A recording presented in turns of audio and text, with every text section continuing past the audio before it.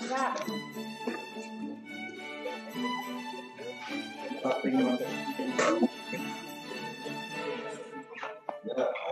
Selamat siang Pak Dubes Salman. Selamat siang Mas Bayu, apa kabar? Ya baik, minal aidin Pak Dubes. Sama-sama Mas, mohon maaf lahir Ya. batin. Ya senang bisa gabung. Ah iya, ya begitu lihat namanya Mas Wahyu Mas langsung klik. Malah.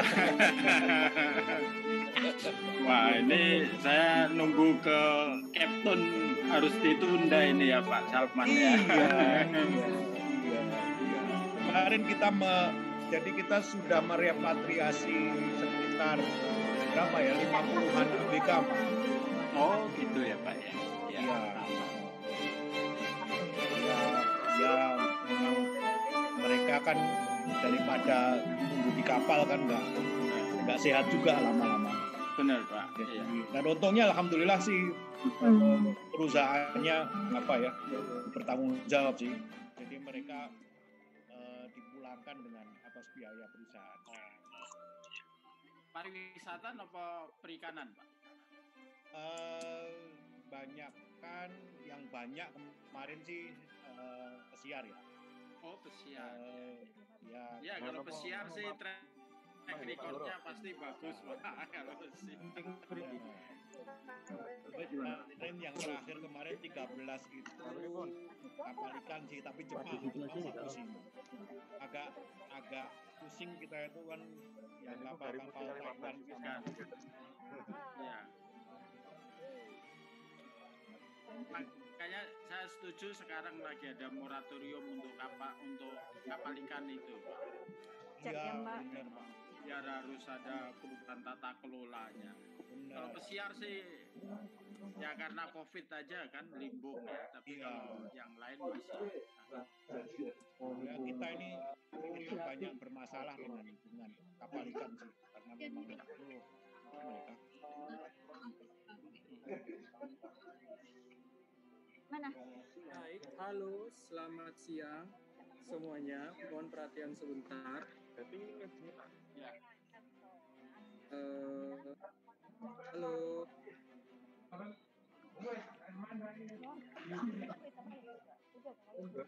Selamat siang Mas Bagus. Ye, Siang Mas Bagus. oke.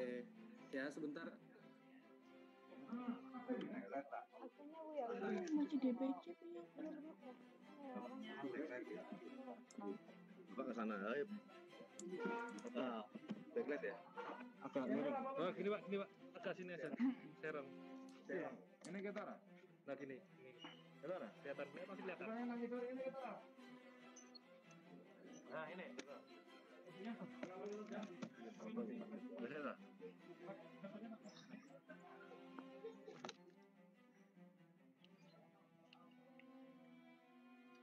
Mas. selamat siang. Mohon perhatian Iya. sebentar. Eh, ini. mohon untuk Oh ya. para para peserta diminta untuk men-silent dulu ya atau men-unmute dulu mikrofonnya ya karena kan kita akan mulai acaranya. Banyak ya karena ini banyak banyak pesertanya jadi kalau saya yang langsung unmute kayak akan makan waktu ya Oke. oke Gambarnya toilet. Oke, eh, jadi eh, sekali lagi mohon untuk para peserta lainnya di unmute dulu, G, mikrofonnya, karena sebentar lagi kita akan mulai acaranya. Ya, ini sudah ya.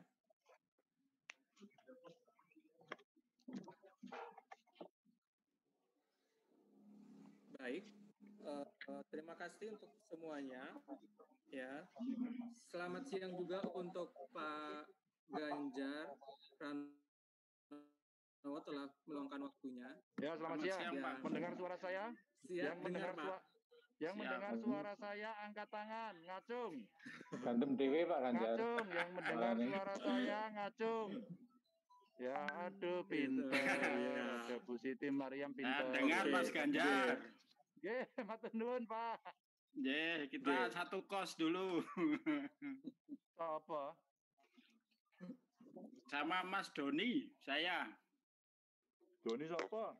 Doni Iswandono waktu di madrasah niku. Doni wartawan. J, J. Eh. Oke, main. Oke, siap. Baik, ke, mohon perhatian semuanya. Sebelum kita mulai ada beberapa aturan ya yang kita perlu simak untuk kelancaran acara ini hingga selesai. Yang pertama, seperti tadi sudah awal saya ingatkan bahwa semua partisipan wajib men-silent mikrofon atau men-unmute mikro, mikrofonnya ketika narasumber menyampaikan materi. Ya, jadi mungkin bisa mulai sekarang dulu di unmute, eh sorry di mute mikrofonnya. Oke, terima kasih semuanya. Yang kedua, semua partisipan dipersilakan menuliskan pertanyaan pada kolom chat. Kemudian yang ketiga, untuk sesi tanya jawab akan dibuka setelah setiap narasumber memberi materi. Ya, kemudian keempat, untuk jangan mengirimkan file dan semacamnya kecuali dari narasumber atau moderator. Oke, yang kelima tentu mari kita ikuti webinar ini dengan sebaik-baiknya. Ya, saja atau eh, yang ingin aturan yang perlu kita perhatikan bersama untuk kelancaran acara ini. Ya. Oke, untuk selanjutnya kita akan mulai acaranya supaya tidak lagi membuang waktu lebih banyak. Sebelum mulai, tentunya lebih baik kita untuk memulai dengan berdoa dulu ya. Berdoa menurut agama dan kepercayaannya masing-masing. Berdoa dipersilahkan. Ini suara Oke, baik. Terima kasih. Mohon yang yang baru bergabung ya, mohon untuk yang baru bergabung sekali lagi diingatkan untuk mute mikrofon ya selama acara berlangsung.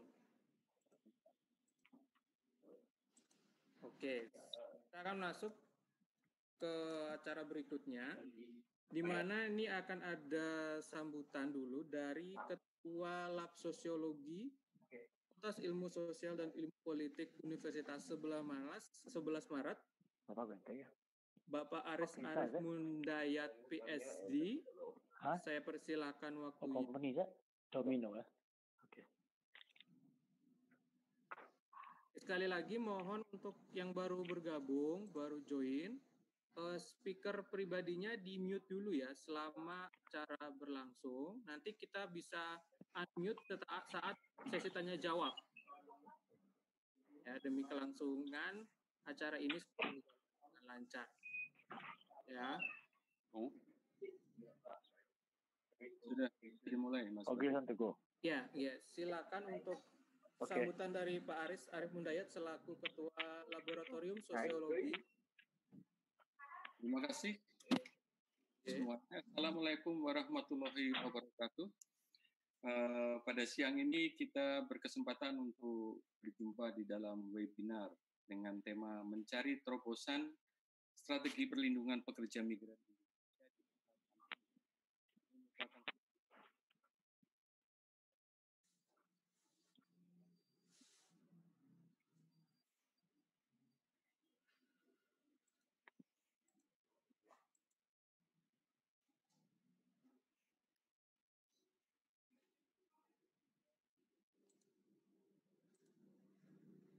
Pranowo yang saya juga mengucapkan selamat sebagai gubernur yang berhasil menangani dan terbaik di dalam menangani masalah pandemi COVID. Kemudian yang kedua, saya ucapkan terima kasih kepada pembicara Bapak Wahyu Susilo selaku Direktur Eksekutif Migrant Care. Kemudian saya juga ucapkan terima kasih kepada Bapak Theophilus Suryadi sebagai dosen Sosiologi Fisik UNS. Kemudian nanti juga kita akan memiliki tamu istimewa yaitu ex pekerja migran Indonesia dari Malaysia yaitu Mbak Ponia dan kemudian penggerak Des Bumi Desa uh, Desa Buruh Migran Indonesia yaitu Mbak Jumiatun.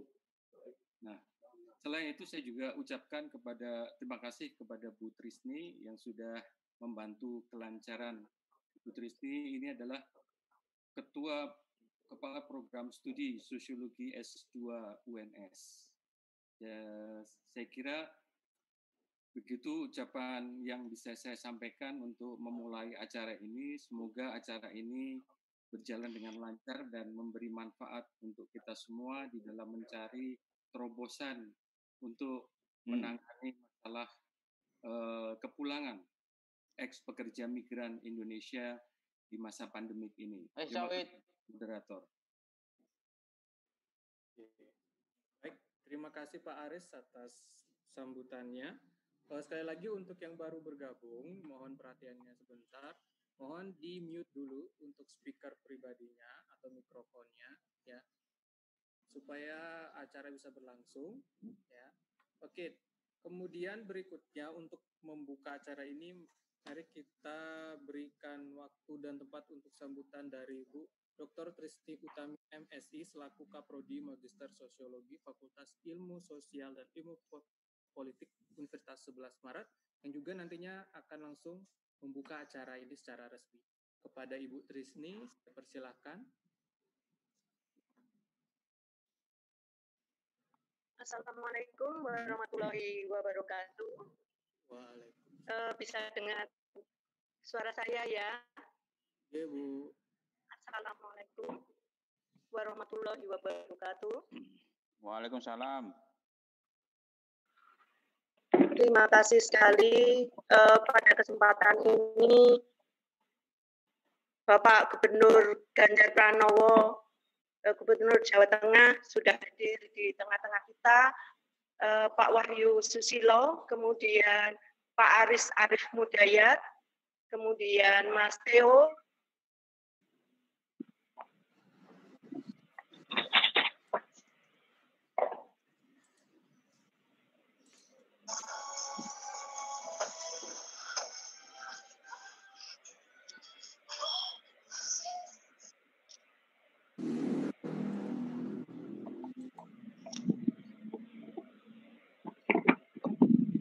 mati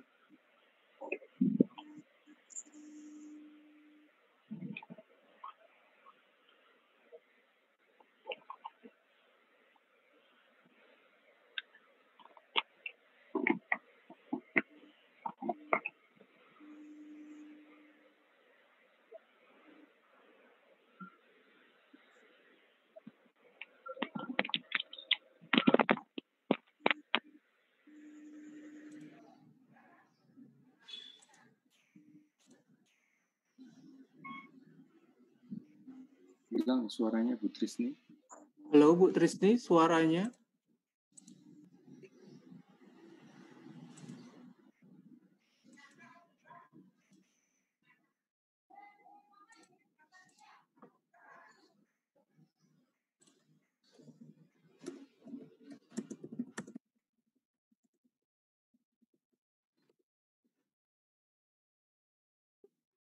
Sepertinya signalnya terputus nih.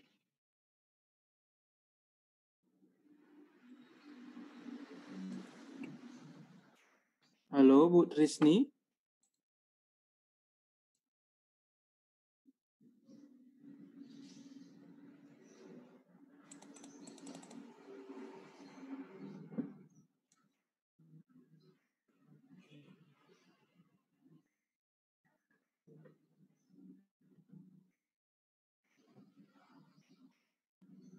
Halo Bu Trisni. Maaf, Bu Bu Trisni ini dari mana ya? Dari rumah atau dari kantor? Kalau dari rumah, jangan-jangan pulsa datanya habis. Ya Bu Trisni sedang sinyalnya jelek. Ya, mungkin Nggak kedengeran, nggak kedengeran. Mungkin dilanjut aja ya. G, iya, mungkin langsung saja karena Bu Trisni suaranya tidak dengar dan sudah sepertinya terputus juga dari webinar ini. Mungkin karena bad sinyal, mungkin kita langsung saja. Mungkin Pak Aris sebagai bininya untuk bisa membuka secara resmi perwakilan karena tadi Bu Trisni juga lagi bad sinyal. Oke, terima kasih Mas Bagus. Eh, mohon maaf karena tadi apa Zoom Trisni ada masalah, jadi supaya untuk menghemat waktu, maka saya selaku studi atas nama kepala studi program S2, eh, saya membuka acara webinar ini untuk kita mulai. Terima kasih, terima kasih. Ya, terima kasih Pak Aris selaku mewakili Bu Trisni tadi karena ada bad sinyal. Oke, kita langsung masuk acara utama kita. Sebelum itu, saya akan membacakan sedikit narasi pembuka yang sebelum kita masuk ke para pembicara yang hari ini. Ya. Oke, eh, sebelum itu mohon mohon maaf sekali lagi yang baru bergabung yang baru bergabung mohon di mute dulu so, s- mikrofonnya ya selama acara berlangsung. Oke, terima kasih. Oke, kita balik lagi. Selamat siang semuanya. Selamat datang di Ngelaras Sosiologi. Saya Bagus Ardiansa, kali ini selaku dari tuan rumah Ngelaras Sosiologi. Konon Indonesia merupakan negeri yang amat kaya raya baik dari sumber daya alam dan sumber daya manusianya. Tapi masih ada mereka yang belum merasakannya tidak bisa dielak, sawah dan ladang tersubstitusi pabrik, sehingga sebagian warga terpaksa menjadi penonton di tanah airnya. Sisanya mengadu nasib ke negeri seberang, walaupun keterampilan tak memadai. Itulah mereka, para pekerja migran Indonesia, yang menjadi penyumbang terbesar devisa negara. Lalu, beragam rentetan cerita tentang mereka yang hingga berada di luar nalar manusia hingga disentak oleh pandemi COVID-19. Lagi, pekerja migran pun tak luput dari ini. Sebagai misal, pekerja migran Indonesia, terutama yang tidak berdokumen, adalah mereka yang paling terdampak di Malaysia. Mereka berstatus sebagai pekerja upah harian dan mingguan dari sektor konstruksi, restoran, dan transportasi, kehilangan pekerjaan. Sebagian di antaranya bekerja di perkebunan atau sebagai pekerja atau asisten rumah tangga.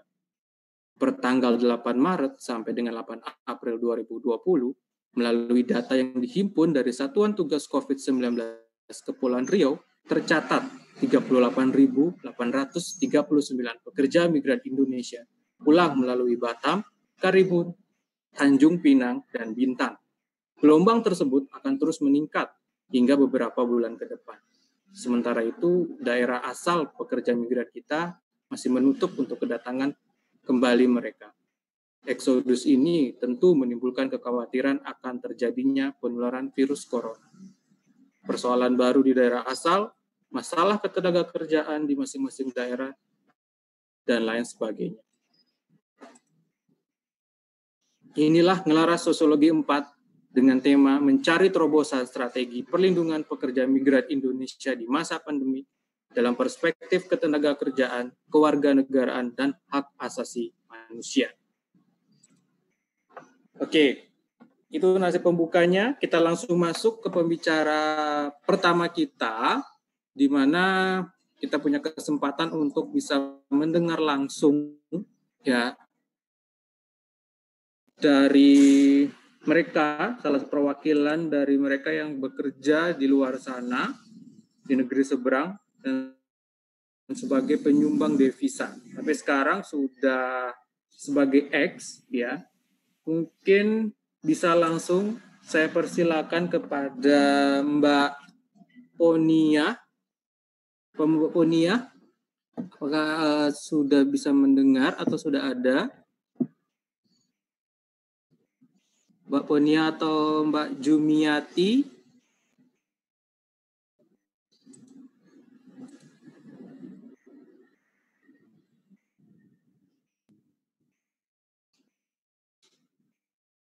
Sepertinya belum ya. Oke, kalau memang belum ada, mungkin dari Mbak Jumiatun dari penggerak Des Bumi, Desa Buruh Migran Jika ada saya persilahkan, ya saya persilahkan untuk uh, uh, di unmute speakernya untuk Mbak Jumiatun dan Mbak Ponia atau Mbak Jumiati.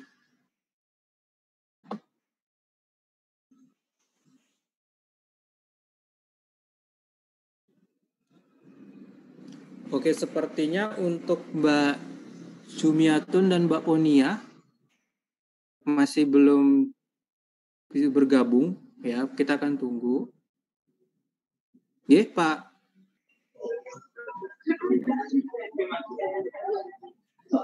ya ya silakan untuk Ya, Halo. silakan. Halo, Inge. Ya, silakan Pak. Usul, usul, usul. Agar Oh, ritme nggih. diskusinya lebih menarik, Ah. boleh nggak yang sudah siap bicara dulu? Karena saya mau minta Oke. maaf. Hari ini saya masih di Borobudur. Belakang Oke. saya itu ada toilet, sebelahnya lagi gunung. menarik ya. Oke. Kalau boleh maksud saya biar dinamis diskusinya, eh, apa Oke. namanya bisa dimulai saja. Silakan siapa yang mau Oh, iya. ditunjuk. Nanti Oke, saya kalau- izin kalau tidak bisa sampai akhir, tapi saya siap untuk diskusi di awal. Oh, enggak. Iya. Oh, berarti Pak Ganjar mungkin bisa saya persilakan kalau emang ada berhalangan waktunya untuk bersilakan duluan. Ya, untuk Assalamualaikum warahmatullahi wabarakatuh, teman-teman semuanya, Pak Aris, terus kemudian pada pembicara Mas Bagus, saya yang saya hormati, saya senang bisa mendapatkan kesempatan ini. Saya mau kasih tahu aja, beberapa waktu lalu orang telepon ke saya.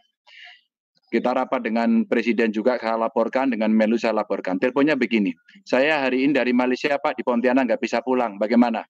Anda legal atau ilegal? Saya legal Pak, apa bukti legalnya? Saya punya paspor. Pengetahuan mereka sampai di situ. Yang kedua setelah saya cek mana namanya dan sebagainya tidak ada.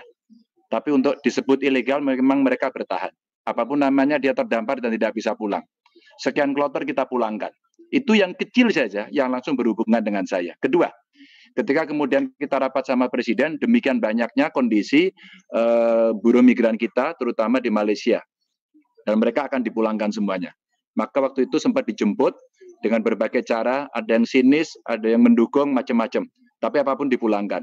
Terus titik-titik bandara yang disebut um, lebih disiapkan begitu uh, sama pemerintah betul-betul ditunjuk ya mulai dari yang apa uh, di Sumatera Utara terus kemudian di Batam terus kemudian ada beberapa yang langsung ke beberapa titik seperti ada yang di Jakarta atau yang langsung di Semarang ini saya contohkan saja untuk Jawa Tengah in case saja tertinggi dari Taiwan Hong Kong dan Malaysia ini tiga besar mulai 20.363 buruh migran kita yang di sana lalu di Hong Kong itu 19.985 terus kemudian ada di Malaysia 12.176 karakternya masing-masing beda. Nah, dari cerita ini saya mau sampaikan juga ternyata eh, persentase dari jumlah total yang pulang hari ini ya, yang pulang ini. Ini ada 1492 dan 19,84 persen atau 296 ini ini pemberi kerjanya berbadan hukum.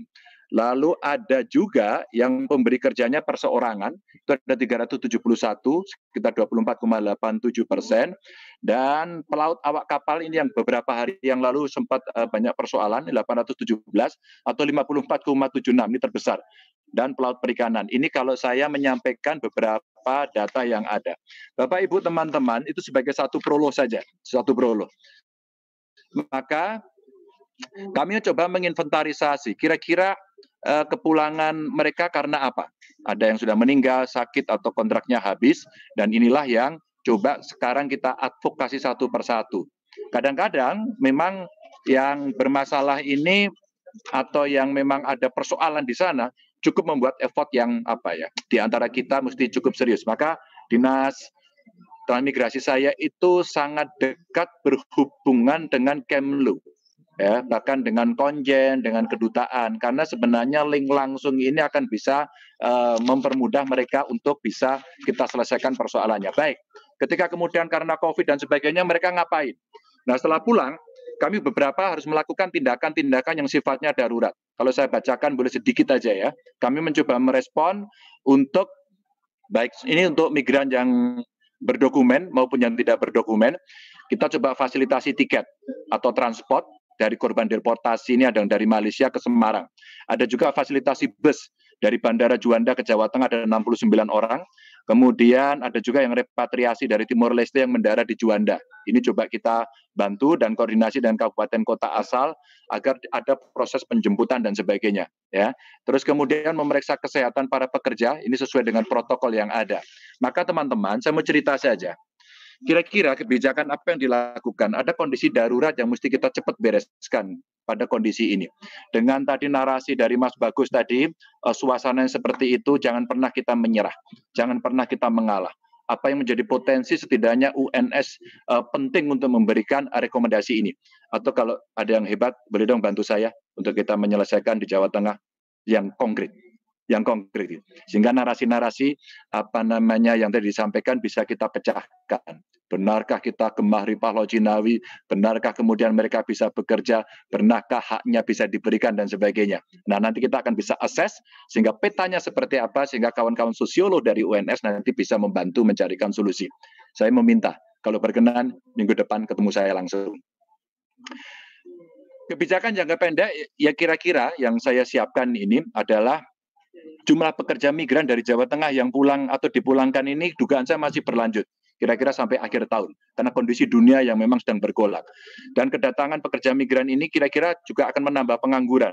Sudah korban apa dari kebijakan yang ada di sana karena COVID maupun kondisi yang real maka saya sudah pasti hitung pengangguran akan meningkat. Dan solusi jangka pendeknya ini mesti kita siapkan dan yang paling bagus ya berwirausaha membangun entrepreneur dengan memberikan satu pelatihan tentang skill and knowledge. Dua, memberikan apa akses permodalan. Yang ketiga tentu mendampingi. Nah, pendampingan ini dari siapa pun yang peduli, siapa pun. Ya kalau dari birokrat sudah kewajiban lah. Tapi kalau umpama ada di kelompok masyarakat, dari kampus, ya semua secara pentahelix eh, bekerja, tentu ini akan sangat menarik. Dan menumbuhkan jiwa entrepreneur ini ini bisa kita mulai dari usaha-usaha mandiri termasuk bergabung dalam UKM dan melalui pelatihan-pelatihan. Ada dua cara, online yang memungkinkan, kalau tidak sebenarnya offline nggak apa-apa, tinggal kita mengatur kelas-kelas yang bisa efisien.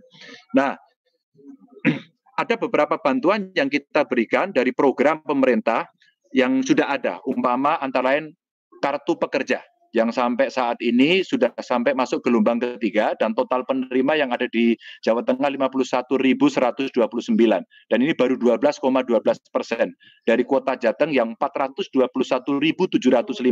Peluang ini sebenarnya masih banyak dan kemudian bisa kita optimalkan untuk ada di situ. Baik ini mungkin program upskilling mau reskilling sehingga mereka yang mau shifting pekerjaan ini kita siapkan. Dan uh, sebagian dari jaring pengaman sosial ini ada beberapa insentif yang kita bisa berikan bagi buat mereka yang bisa uh, apa namanya melakukan pekerjaan ini. Bapak Ibu teman-teman, saya mau berada di penghujung, kita memberikan beberapa contoh saja. Kalau kemudian apa yang akan kita dorong agar mereka bisa menjadi pengusaha-pengusaha seperti tadi itu contoh-contoh mungkin kisah-kisah sukses dari Bapak Ibu, teman-teman, kawan-kawannya sudah pulang. Saya kira sharing itu menjadi baik. Jadi ada kisah sukses, ini saya punya gambar sebenarnya. Mohon maaf kalau tidak bisa di apa paparkan semuanya di sana. Ini ada success story ex pekerja migran. Jadi kalau saya bacakan, ini ada Syahidul Wildan, ini dari Korea. Ini ada di Sukolilo Pati, dia beternak broiler, jumlah karyawannya sudah 115 orang. Ada juga Tri Agung Purnomo, ini di Surakarta, ini omsetnya sudah bisa 50 juta per bulan, usahanya lembaga pelatihan kerja swasta. Ada juga Atman, dia di Demak, ini omsetnya 150 juta kurang lebih per bulan. Ini peternak ayam apa petelur. Lalu ada Pujiono ini di Gerobokan, ini omsetnya gede ini, 400 juta per bulan ini toko elektronik dan kelontong dia berdagang. Sebenarnya ada banyak kisah sukses di samping tentu persoalan-persoalan yang muncul yang kita hadapi. Teman-teman, saya mau berhenti di sini. Maka dari kondisi itu, hari ini kita bisa memberikan ruang-ruang. Saya sudah mendorong pada kawan-kawan karena COVID ini mesti kita respon, maka tidak hanya pekerja migran, tapi juga ada yang dari eh, korban-korban uh, PHK, terus kemudian mereka yang uh, usahanya tidak bisa berkembang. Memang pemerintah mendorong untuk memberikan insentif. Terakhir, bahwa memang kita mesti cukup disiplin sebenarnya untuk bisa memberikan uh, advokasi atau pendampingan kepada kawan-kawan. Saya selalu memohon, meminta betul untuk yang pergi meninggalkan daerahnya, apalagi mau bekerja, Bu Iyao, kami ini dikabari. Sehingga nanti dokumen-dokumen itu bisa kita siapkan dengan baik. Beberapa kejadian tidak lolos di tempat A, dia bisa lolos di tempat B karena terpaksa memang tadi cerita idealnya adalah bagaimana kita membantu mereka untuk tetap bisa bekerja di dalam negeri. Maka entrepreneurship, inovasi, kreasi ini menjadi penting dan mudah-mudahan itu yang nanti bisa uh, kita berikan alternatif-alternatif siapa mau peran, ngapain, kapan dan sebagainya. Sehingga webinar ini akan bisa memberikan solusi yang baik. Bapak Ibu teman-teman, sekali lagi saya mohon maaf kalau tidak bisa sampai akhir tapi saya memberikan ruang seandainya dalam kesempatan ini ada yang mau bertanya kepada saya. Mohon maaf, tanpa saya ingin mendominasi ruang ini, tapi izinkan saya nanti mendahului. Mudah-mudahan otoritasnya bisa eh, diberikan kepada Pak Moderator untuk mengatur. Monggo Mas Bagus. Matur nuwun. Assalamualaikum warahmatullahi wabarakatuh. Oke. Baik, terima kasih Pak Gubernur, Pak Ganjar atas kediaannya uh, untuk itu supaya kita bisa lebih menghemat waktu, mungkin kita bisa langsung ke Pak Aris Mundaya dulu, ya, supaya lebih bisa terkejar waktunya. Atau sebelum, uh, ya, berarti kita langsung aja ke Pak Aris dulu. Setelah ini mungkin saya akan buka sesi pertanyaan pertama, hanya mengingat Pak Ganjar tidak bisa sampai selesai. Oke, untuk itu saya langsung ke Pak Aris, saya persilakan untuk waktunya. Oke, terima kasih Pak Bagus dan terima kasih Pak Ganjar atas apa yang sudah dijelaskan tadi dengan berbagai permasalahan yang ada di, di Jawa Tengah dan sangat sangat tampak sekali ke ada beberapa hal yang bisa kita petakan di situ. Nah, dari dari apa yang sudah disampaikan Pak Ganjar, kita bisa melihat ada sejumlah faktor yang sudah kami identifikasi bahwa di situ ada faktor yang meliputi modal intelektual dari uh, pekerja migran, kemudian modal pengalaman, modal spiritual, dan modal finansial, serta modal sosial, dan juga modal material. Nah ini ada sejumlah persoalan yang yang perlu kita petakan terlebih dahulu sebelum nanti ikut uh, terlibat di dalam membantu pemerintah Jawa Tengah untuk menyelesaikan masalah-masalah yang muncul. Nah, di dalam persoalan modal intelektual kita melihat bahwa ada keterbatasan pengetahuan tentang langkah-langkah pencegahan, terutama pada kelompok XPMI yang memang pendidikannya rendah di situ. Nah, mereka sebagian besar bekerja di sektor-sektor uh, apa namanya uh, asisten rumah tangga, ada juga yang tidak menggunakan dokumen sama sekali di Malaysia, tetapi mereka harus pulang. Nah, itu cukup banyak yang uh, keter, ada keterbatasan pengetahuan tentang langkah-langkah pencegahan. Kemudian juga ada hambatan-hambatan atau ketidakpahaman mengenai makna dari jarak sosial. Kemudian juga ada keterbatasan pengetahuan tentang arti kebersihan. Kemudian juga pemahaman tentang sakit menular yang mereka belum banyak mengetahui dan kemudian itu nanti akan terkait dengan persoalan-persoalan seperti keyakinan-keyakinan yang mereka miliki bahwa ada anggapan bahwa eh, yang namanya kena sakit yaitu sudah sudah waktunya, sudah takdirnya. Kalaupun mati ya mati di situ. Nah ini persoalan seperti ini masih bukan hanya di kalangan XPMI tapi juga di kalangan kita semua masih banyak yang meyakini seperti itu. Kemudian persoalan yang serius dari apa yang dihadapi oleh eh, XPMI yang masuk balik ke Indonesia itu adalah pertama ada sejumlah uh, warga negara Indonesia yang balik kemudian memiliki keterbatasan modal di situ. Seperti kemarin tadi malam ada informan saya yang telepon dari Malaysia dia balik tetapi kemudian mengalami banyak persoalan. Uh, dia sudah membawa surat bebas apa sudah surat uh, swab COVID di Malaysia dengan membayar 400-an ringgit. Kemudian di Jakarta diperbolehkan masuk, tidak dikarantina kan dari surat, tetapi dia tidak bisa pulang balik ke Wonogiri karena ditolak oleh pihak keluarga di Wonogiri dan juga masyarakat di Wonogiri sehingga dia belum bisa masih terkatung-katung di jalan. Ini juga persoalan yang tidak hanya dihadapi oleh satu orang, tetapi banyak orang di situ. Nah, kemudian juga persoalan finansial yang mereka hadapi yang sangat terbatas itu membuat setelah mereka pulang itu kesulitan masuk balik ke negara yang dulu pernah dia bekerja sehingga perlu bantuan-bantuan yang perlu kita pikirkan secara bersama untuk mengatasi persoalan-persoalan tersebut. Nah, di situ kita bisa melihat bahwa perlu ada langkah strategis dari jangka pendek, yaitu memastikan adanya mobilisasi atau respons struktural dari pemerintah untuk menjaga ketahanan sosial ekonomi dari ex-PMI ini. Kemudian termasuk perlindungan kesehatan untuk menghadapi pandemik, baik sekarang maupun ke depannya. Kemudian jangka menengah kita perlu melakukan langkah taktis untuk menghadapi apa yang disebut dengan situasi normal yang sudah dicetuskan oleh pemerintah normal baru ya yang sudah dicetuskan oleh pemerintah dengan berbasis pada respons struktural tadi serta penyiapan strategi sosial ekonomi yang yang nanti akan kita pikirkan untuk jangka panjangnya dan jangka panjang adalah membangun ketahanan sosial ekonomi secara struktural untuk jangka panjang pasca COVID-19 ini penting untuk kita pikirkan mengingat tidak semua ex buruh migran itu mampu mengumpulkan modal finansial untuk membangun kekuatan ekonomi mereka kembali di situ. Di Indonesia seperti apa yang sudah dilakukan oleh uh, Migrant Care maupun Des Bumi itu sudah banyak sekali membantu pekerja migran yang sudah balik untuk mampu bertahan hidup dengan modal yang mereka miliki. Dan Des Bumi sangat mengambil peran di, di beberapa tempat, termasuk di Jawa Tengah, Jawa Timur, dan juga di tempat-tempat lain di Jawa Barat, itu sangat berpengaruh dan sangat membantu ex-PMI itu untuk bertahan hidup dengan model yang mereka miliki. Nah, ini untuk ke depan kita perlu memikirkan bagaimana strategi ekonomi, khususnya Jawa Tengah, itu adalah strategi ekonomi gotong royong yang mengintegrasikan BUMD milik provinsi dengan unit-unit usaha yang sudah dikembangkan oleh uh, buruh migran di des bumi tersebut. Nah, ini menjadi penting untuk mewadahi kekuatan mereka.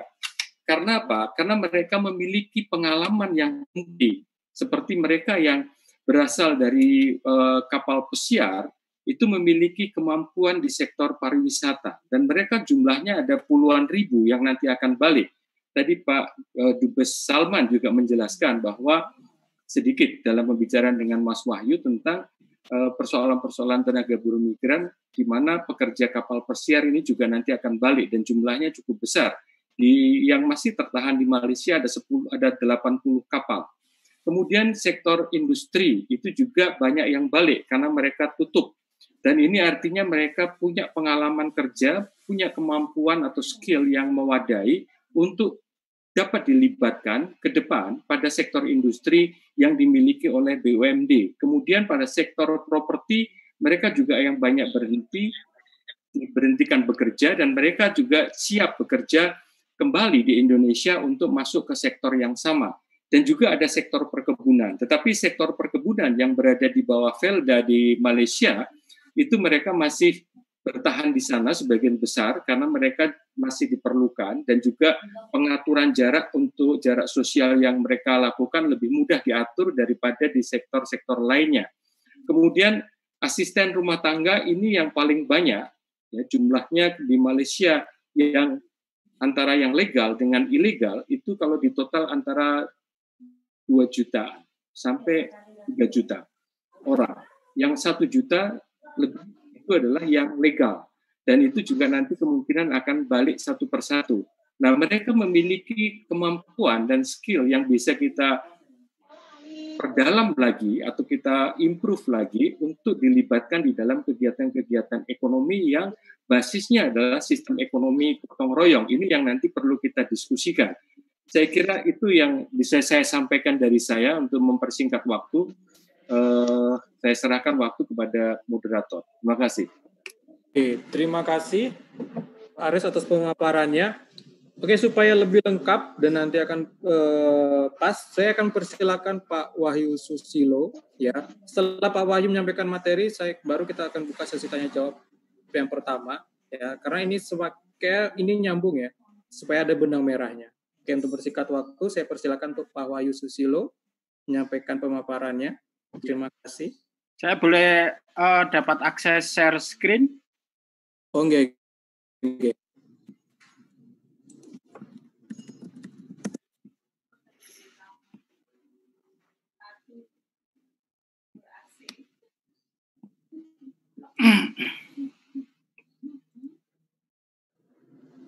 Oke, sudah Pak, sudah di Oke, oke. Ya,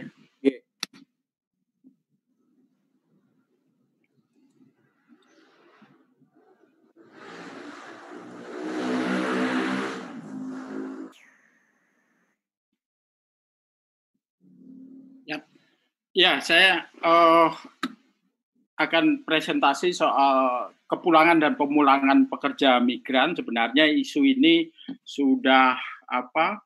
Sudah satu dua bulan yang lalu, Migrant Care juga bersama dengan pemerintah di pusat, di apa, juga bersama gugus tugas membicarakan uh, ini. Pertama, kita memang uh, kalau menurut asesmen uh, migrant care, pekerja migran itu adalah sektor yang pertama kali terdampak ketika kita semua di Indonesia masih menjadi uh, penonton seperti itu.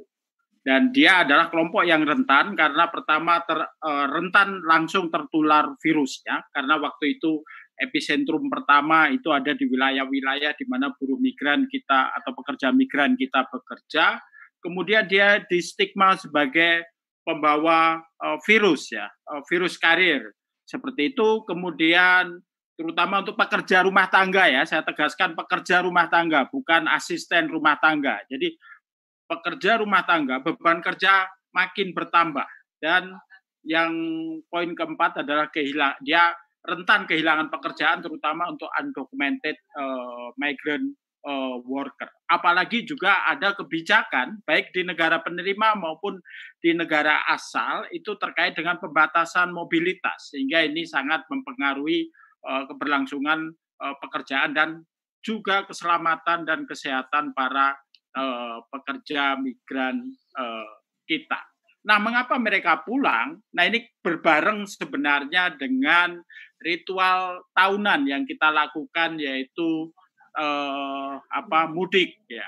Jadi biasanya teman pekerja migran itu eh, sebenarnya kalau situasinya tidak pakai COVID ini juga mereka juga mudik ya. Nah sekarang ini memang banyak yang apa yang kemudian mungkin kalau menurut data BP2MI teman-teman yang membatalkan mudik itu eh, lumayan banyak juga seperti itu karena data terakhir yang dikeluarkan oleh BP2MI mereka yang pulang hingga pada saat mudik itu hanya 67 bukan hanya sekitar 67 ribuan seperti itu. Padahal mungkin kalau pada season-season atau pada tahun-tahun sebelumnya jumlahnya uh, mungkin lebih banyak. Nah, memang mudik di masa lebaran itu juga adalah merupakan tradisi dari teman-teman pekerja migran karena biasanya dua atau tiga tahun yang lalu teman-teman mengawali kontrak kerja setelah Lebaran, kemudian juga uh, mereka berobsesi bisa berlebaran ketika habis kontrak itu uh, menjelang Lebaran, sehingga dia bisa berlebaran di situ. Ada juga yang mudik dengan cuti ya, dengan mengambil hak uh, cuti seperti itu. Nah, mereka yang mudik dengan hak cuti ini yang jumlahnya mungkin berkurang. Nah, juga ada pemutusan hubungan kerja karena COVID-19, misalnya ABK kapal pesiar tadi sudah disampaikan, terutama mereka yang para pekerja migran kita yang ada di sektor pariwisata dan perhotelan. ABK kapal pesiar, kemudian mereka yang kerja di spa, di resepsionis, dan di hospitality. Nah ini untuk tem untuk Pak Gubernur, teman-teman dari Jawa Tengah, dari sektor ini cukup uh, lumayan uh, banyak. Nah kemudian juga adalah mereka yang kehilangan pekerjaan sebagai pekerja harian, mingguan, atau borongan. Biasanya mereka adalah pekerja migran yang undocumented di Malaysia karena berstatus uh, sebagai buruh lepas dan dengan status Malaysia yang lockdown atau tepatnya penerapan movement control order itu mereka bisa kehilangan pekerjaan. Jadi pilihannya mereka harus pulang atau mereka tetap uh, bertahan seperti itu. Nah, mereka yang juga di uh, apa pekerjaan documented yang pulang karena uh, di deportasi.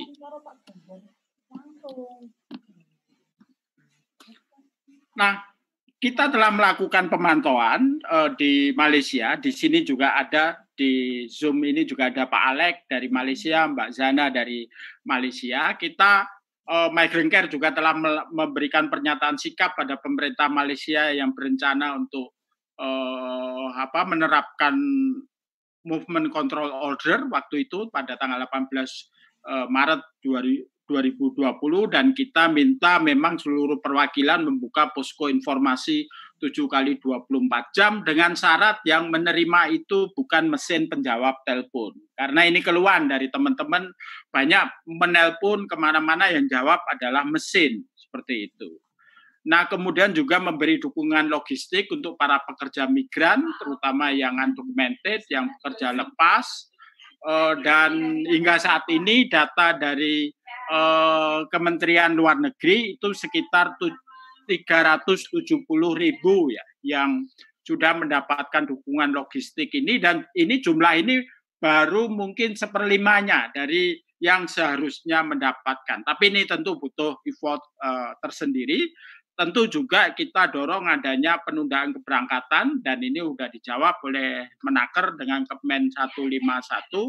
Kemudian juga mempersiapkan kemungkinan eksodus ini juga sudah dilakukan harus kedatangan dan kepulangan di eh, perbatasan Indonesia Malaysia bahkan sebenarnya juga sudah disiapkan rumah sakit darurat di eh, Pulau Galang. Dan memang prediksi kita jadi kita merapatkan ini dengan teman-teman Eh, kantor staf presiden dan uh, gugus tugas bahwa memang ada arus yang cukup deras dari pemu, uh, di pelabuhan uh, perbatasan Indonesia Malaysia dan kawasan Kepulauan Riau. Situasinya agak berbeda dengan yang dinunukan karena pemerintah Sabah itu tidak terlalu melakukan apa pengetatan ya karena mereka sangat tergantung pada perkebunan dan di perkebunan seperti juga asesmen ILO, pekerjaan di sektor perkebunan dan pertanian itu sebenarnya yang paling minim terdampak uh,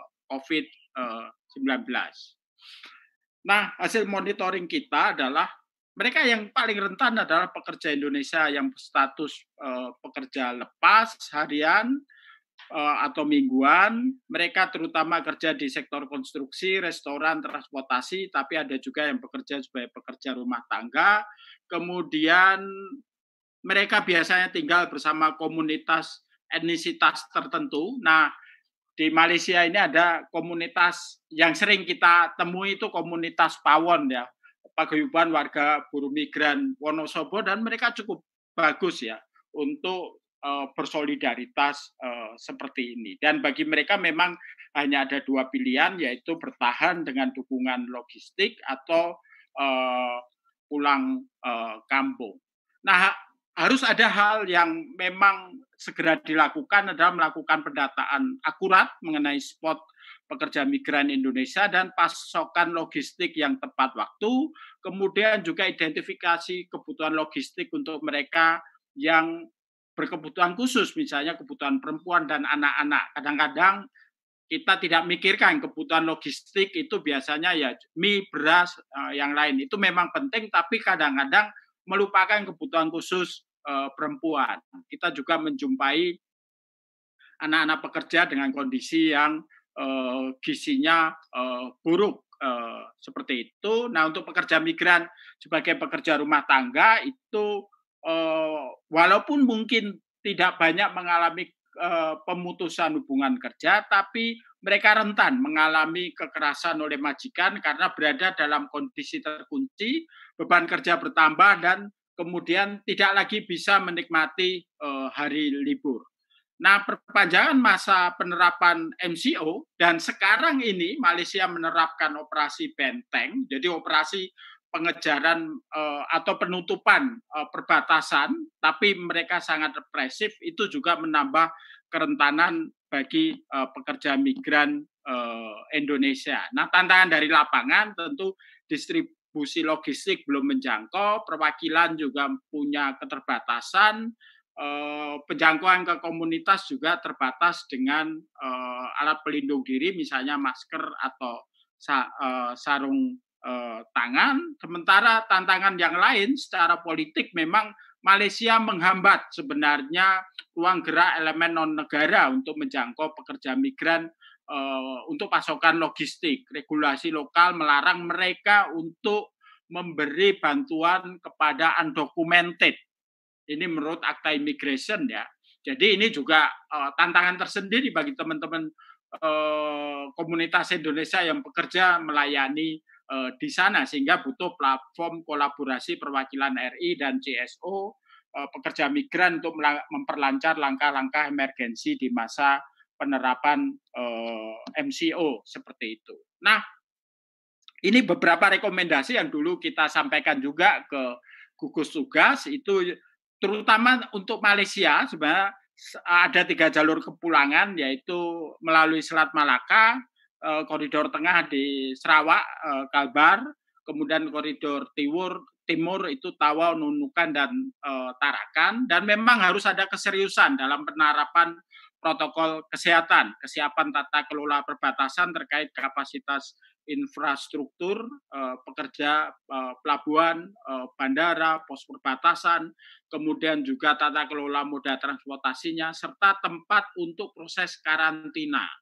dan penapisan berlapis. Nah, informasi terakhir kemarin dari gugus tugas memang dari puluhan ribu pekerja migran kita yang apa yang dikarantina atau yang sudah datang itu teridentifikasi kalau ini menurut pos di Jakarta itu sudah sekitar 563 eh, mereka yang eh, positif tapi jumlah ini sebenarnya eh, kecil dibanding mereka yang datang gitu ya. Kemudian juga karena ada penapisan berkali-kali. Ini yang saya kira wujud ya, wujud dari Eh, kerjasama antara CSO, antara pemerintah, sehingga usulan-usulan misalnya penapisan berkali-kali, kemudian penerapan protokol kesehatan itu mampu meminimalisir eh, apa eh, pekerja migran kita untuk kemudian ketika pulang itu menjadi virus eh, karir itu ternyata tidak banyak eh, terjadi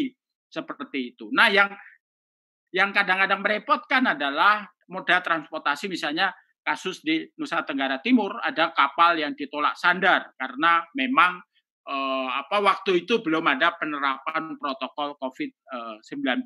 Nah, kita juga terus berkoordinasi berkomunikasi dengan mitra kita terutama yang ada des eh, buminya untuk antisipasi eh, mudiknya para uh, pekerja ini. Kemudian juga yang penting tadi juga disampaikan oleh Pak Gubernur adalah bagaimana identifikasi mereka nantinya untuk mendapatkan akses pekerjaan, untuk mendapatkan akses bantuan sosial atau juga uh, pendataan uh, para pekerja migran kita yang pulang untuk pembaruan DTKS. Ini yang saya kira kan dalam minggu-minggu ini kita masih diributkan soal distribusi Eh, bantuan sosial seperti itu. Nah, beberapa inisiatif penerapan protokol COVID-19 di Desbumi uh, misalnya kalau di Jawa Barat ada edaran penerapan protokol COVID uh, mulai dari apa penjarakan sosial, pemantauan, kemudian ini di Jawa Tengah Pak Ganjar di Desa Rogojati itu mereka menyiapkan rumah karantina untuk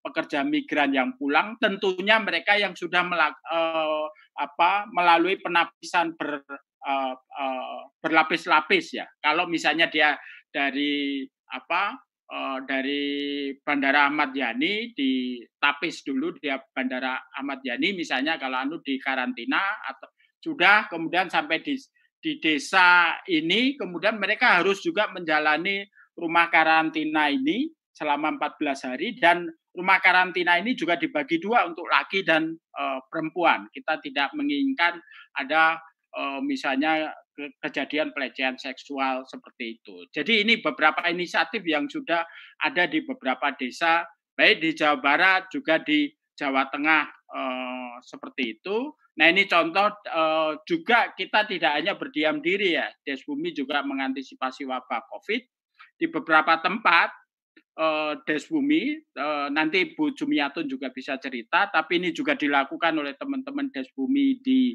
uh, Wonosobo dan di Kebumen, itu kita juga memproduksi masker, kain, dan APD bekerja sama dengan jaitin.com, selain untuk dipakai oleh komunitas itu sendiri, tapi ini juga bisa didistribusikan, disumbangkan juga kepada Eh, para tenaga kesehatan karena mereka juga sudah uh, menjalani pelatihan uh, quality control ya dari APD yang mereka produksi. Saya kira itu beberapa sharing saya. Terima kasih Mas moderator. Oke, terima kasih Pak Wahyu Cilo atas pemaparannya. Oke, langsung saja saya masuk ke sesi tanya jawab pertanyaan ya. Oke, untuk dipersilakan untuk yang ditanyakan oleh untuk Pak Ganjar, Pak Aris, dan Pak, Pak Wahyu. Oke, saya masuk ke tiga pertanyaan dulu. Ini tadi sudah ada yang raise ya. Untuk Mbak Nia dari Komnas HAM, saya langsung persilakan saja untuk memberikan pertanyaannya pada para materi. Oke. Silakan. Baik, ya, baik terima kasih Mas Bagus atas kesempatannya. Uh, dari Komnas HAM saya ingin bertanya kepada Pak Gubernur, Pak, saya uh, waktu itu terakhir ketemu Bapak waktu masih mahasiswa di Undip. Pertanyaan saya, adakah laporan buruh migran dari Jawa Tengah yang tertahan di negara asal di Malaysia dan apa langkah-langkah Pemda untuk memastikan hak-hak tahanan tersebut terpenuhi termasuk juga repatriasi. Kemungkinan uh, kemudian apakah ada kerjasama antar Pemda di uh, perbatasan. Seperti misalnya di Pemda di Kalimantan dan kemudian uh, saya langsung ke Pak Wahyu. Pak uh, terkait stigma kepulangan buruh migran bagaimana trennya saat ini? Apakah menurun? Dan bagaimana menurut Pak Wahyu langkah yang diperlukan uh, untuk Pemda men, uh, dalam menanggulangi stigma stigma buruh migran sebagai penyebar virus. Terima kasih. Langsung. Terima kasih. Boleh satu lagi mungkin uh, dari Pak Buyung Tanjung, saya persilakan. Ya, terima kasih Mas Bagus atas kesempatan diberikan ke saya. Uh, pertama saya ucapkan terima kasih kepada Mas Wahyu Susilo yang sudah menyinggung tentang uh, pekerja migran yang undocumented. Karena uh, kebanyakan kita akan berbicara tentang pekerja migran yang berdokumen pertanyaan saya uh, kepada Pak Ganjar itu tentang apa langkah-langkah yang dilakukan oleh pemerintah daerah Jawa Tengah kepada pekerja migran undocumented di Belanda. Kebetulan saya apa menjadi salah satu koordinator di kota di Belanda untuk Indonesian Migrant Worker Union. Perlu diketahui Pak Ganjar bahwa pekerja migran undocumented di Belanda itu sebagian besar berasal dari Jawa Tengah. Dan tadi Pak Ganjar sempat bilang bahwa uh, ada program-program langkah-langkah yang dilakukan pemerintah daerah Jawa Tengah kepada pekerja uh, kepada para pekerja terutama pekerja migran asal Indonesia yang di Asia katakanlah seperti itu. Tapi bagaimana untuk pekerja migran undocumented yang berasal dari Jawa Tengah yang ada di uh, di Belanda, terutama apa terutama di Belanda. Saya kira itu aja pertanyaannya, Mas Bagus. Terima kasih. Terima kasih. Satu lagi mungkin ada yang mau bertanya sebelum saya kasih untuk para pemateri untuk menjawab. Ya, halo, halo. Mas Bagus. Oke, Pak Priyo Sudibyo. Oke, ya, terima Ya. kasih. Ya. Jadi kalau bicara buruh migran sebetulnya kan eh, masalah yang selalu muncul itu adalah yang undocumented yang angkanya itu nampaknya proporsinya cukup besar ya. Nah ini yang paling apa ya paling strategis untuk mengurangi yang undocumented itu karena kalau menghilangkan sa- sama sekali saya kira agak susah karena ini kaitannya eh, dengan eh, apa pasar kerja yang sangat terbatas di Indonesia ini. Nah kemudian juga harus kita eh, pahami juga bahwa umumnya para pekerja migran itu pertama yang dapat masalah itu adalah para pekerja yang di sektor informal itu ya. Kemudian yang tadi eh, seperti Pak Aris tadi menyinggung bagaimana nanti eh, mengupayakan untuk eh, apa semacam penanganan secara gotong royong itu realnya seperti apa. Kemudian juga eh, kaitannya dengan penyediaan di sektor formal misalnya untuk tenaga-tenaga migran yang eh, yang punya skill yang misalnya bekerja di sektor-sektor formal di negara tujuan itu ya. Yang kemudian kalau di sini nanti kemudian akan dimasukkan atau istilahnya di eh, apa sisipkan ke eh, sektor formal di sini apakah itu memungkinkan? Karena apa? Kita sendiri tahu bahwa kalau kita menyimak data BPS eh, pengangguran terbuka kita yang sarjana itu semakin tahun semakin meningkat Pak dan mereka itu juga butuh eh, apa eh, butuh pekerjaan yang tentu saja eh, sesuai dengan tingkat pendidikannya hampir satu juta kalau kita lihat data BPS eh, pengangguran terbuka kita yang sarjana. Nah ini apakah bukan sesuatu yang agak sangat susah untuk diwujudkan kecuali memang nanti diarahkan ke sektor informal. Pertama nanti seperti yang dikatakan Pak Ganjar tadi, bagaimana menumbuhkan eh, apa kewirausahaan dengan dibantu akses permodalan, pendampingan dan sebagainya. Saya kira itu langkah yang cukup bagus untuk bisa direalisasikan. Itu saya kira eh, dari saya Mas Bagus. Terima kasih. Oke, terima kasih. Oke, kalau gitu saya langsung saja saya persilakan untuk para pemateri pembicara pertama untuk menjawab tadi pertanyaan-pertanyaan. Ya, saya persilakan mungkin Pak Ganjar dulu mungkin silakan. Terima kasih. Apakah ada kerjasama enggak dengan dari pihak perbatasan? Jadi begini, kadang-kadang kita kerjasama formal itu mohon maaf, mohon maaf Mbak ya, eh, kadang-kadang juga nggak bisa memantau. Ini saya contoh yang konkret ya. Tiba-tiba ngubungi saya lewat handphone kok. Siapa yang ngubungi? Orangnya. Nggak tahu nomor handphonenya dari mana. Kadang-kadang DM saya lewat eh, IG saya, lewat Facebook, lewat Twitter gitu. Dan kemudian kita tindak lanjuti. Itu kemarin ada 11 yang ada di Pontianak nggak bisa pulang. Dan nggak pulang, nggak punya duit, dan mereka undocumented begitu. Gimana Pak Ganjar? Ya saya nggak ada cara lain. Ya sudah kamu pulang. Tapi saya nggak punya duit. Ya udah nanti jemput gitu. Ya kita jemput aja. Gimana? Wong itu juga anak saya kok. Nah, sama sebenarnya saya mau menjawab juga dari Mas Buyong yang ada di di Belanda sebenarnya sama, Mas. Ya. Yang di Belanda gimana? Sama lah.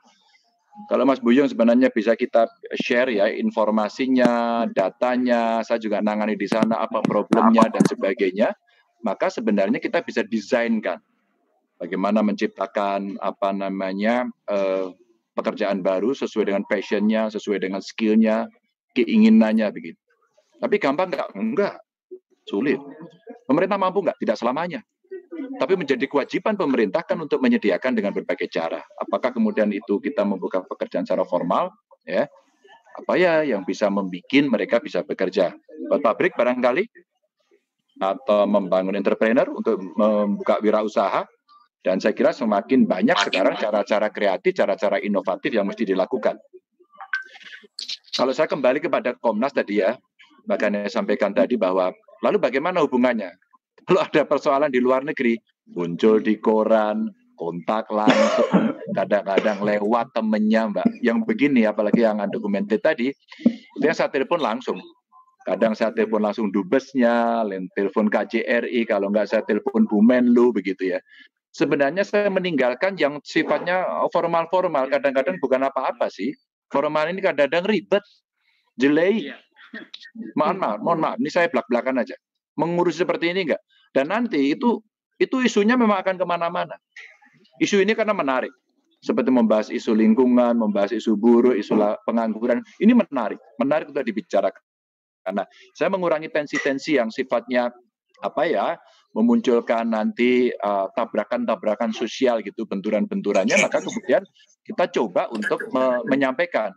Jadi Obama tadi disampaikan dengan Malaysia bagaimana? Kita kontak. Bahkan kita kemarin sudah merancang, kira-kira dari Malaysia berapa akan pulang? Sejuta, ya sudah, sejuta kita siapkan.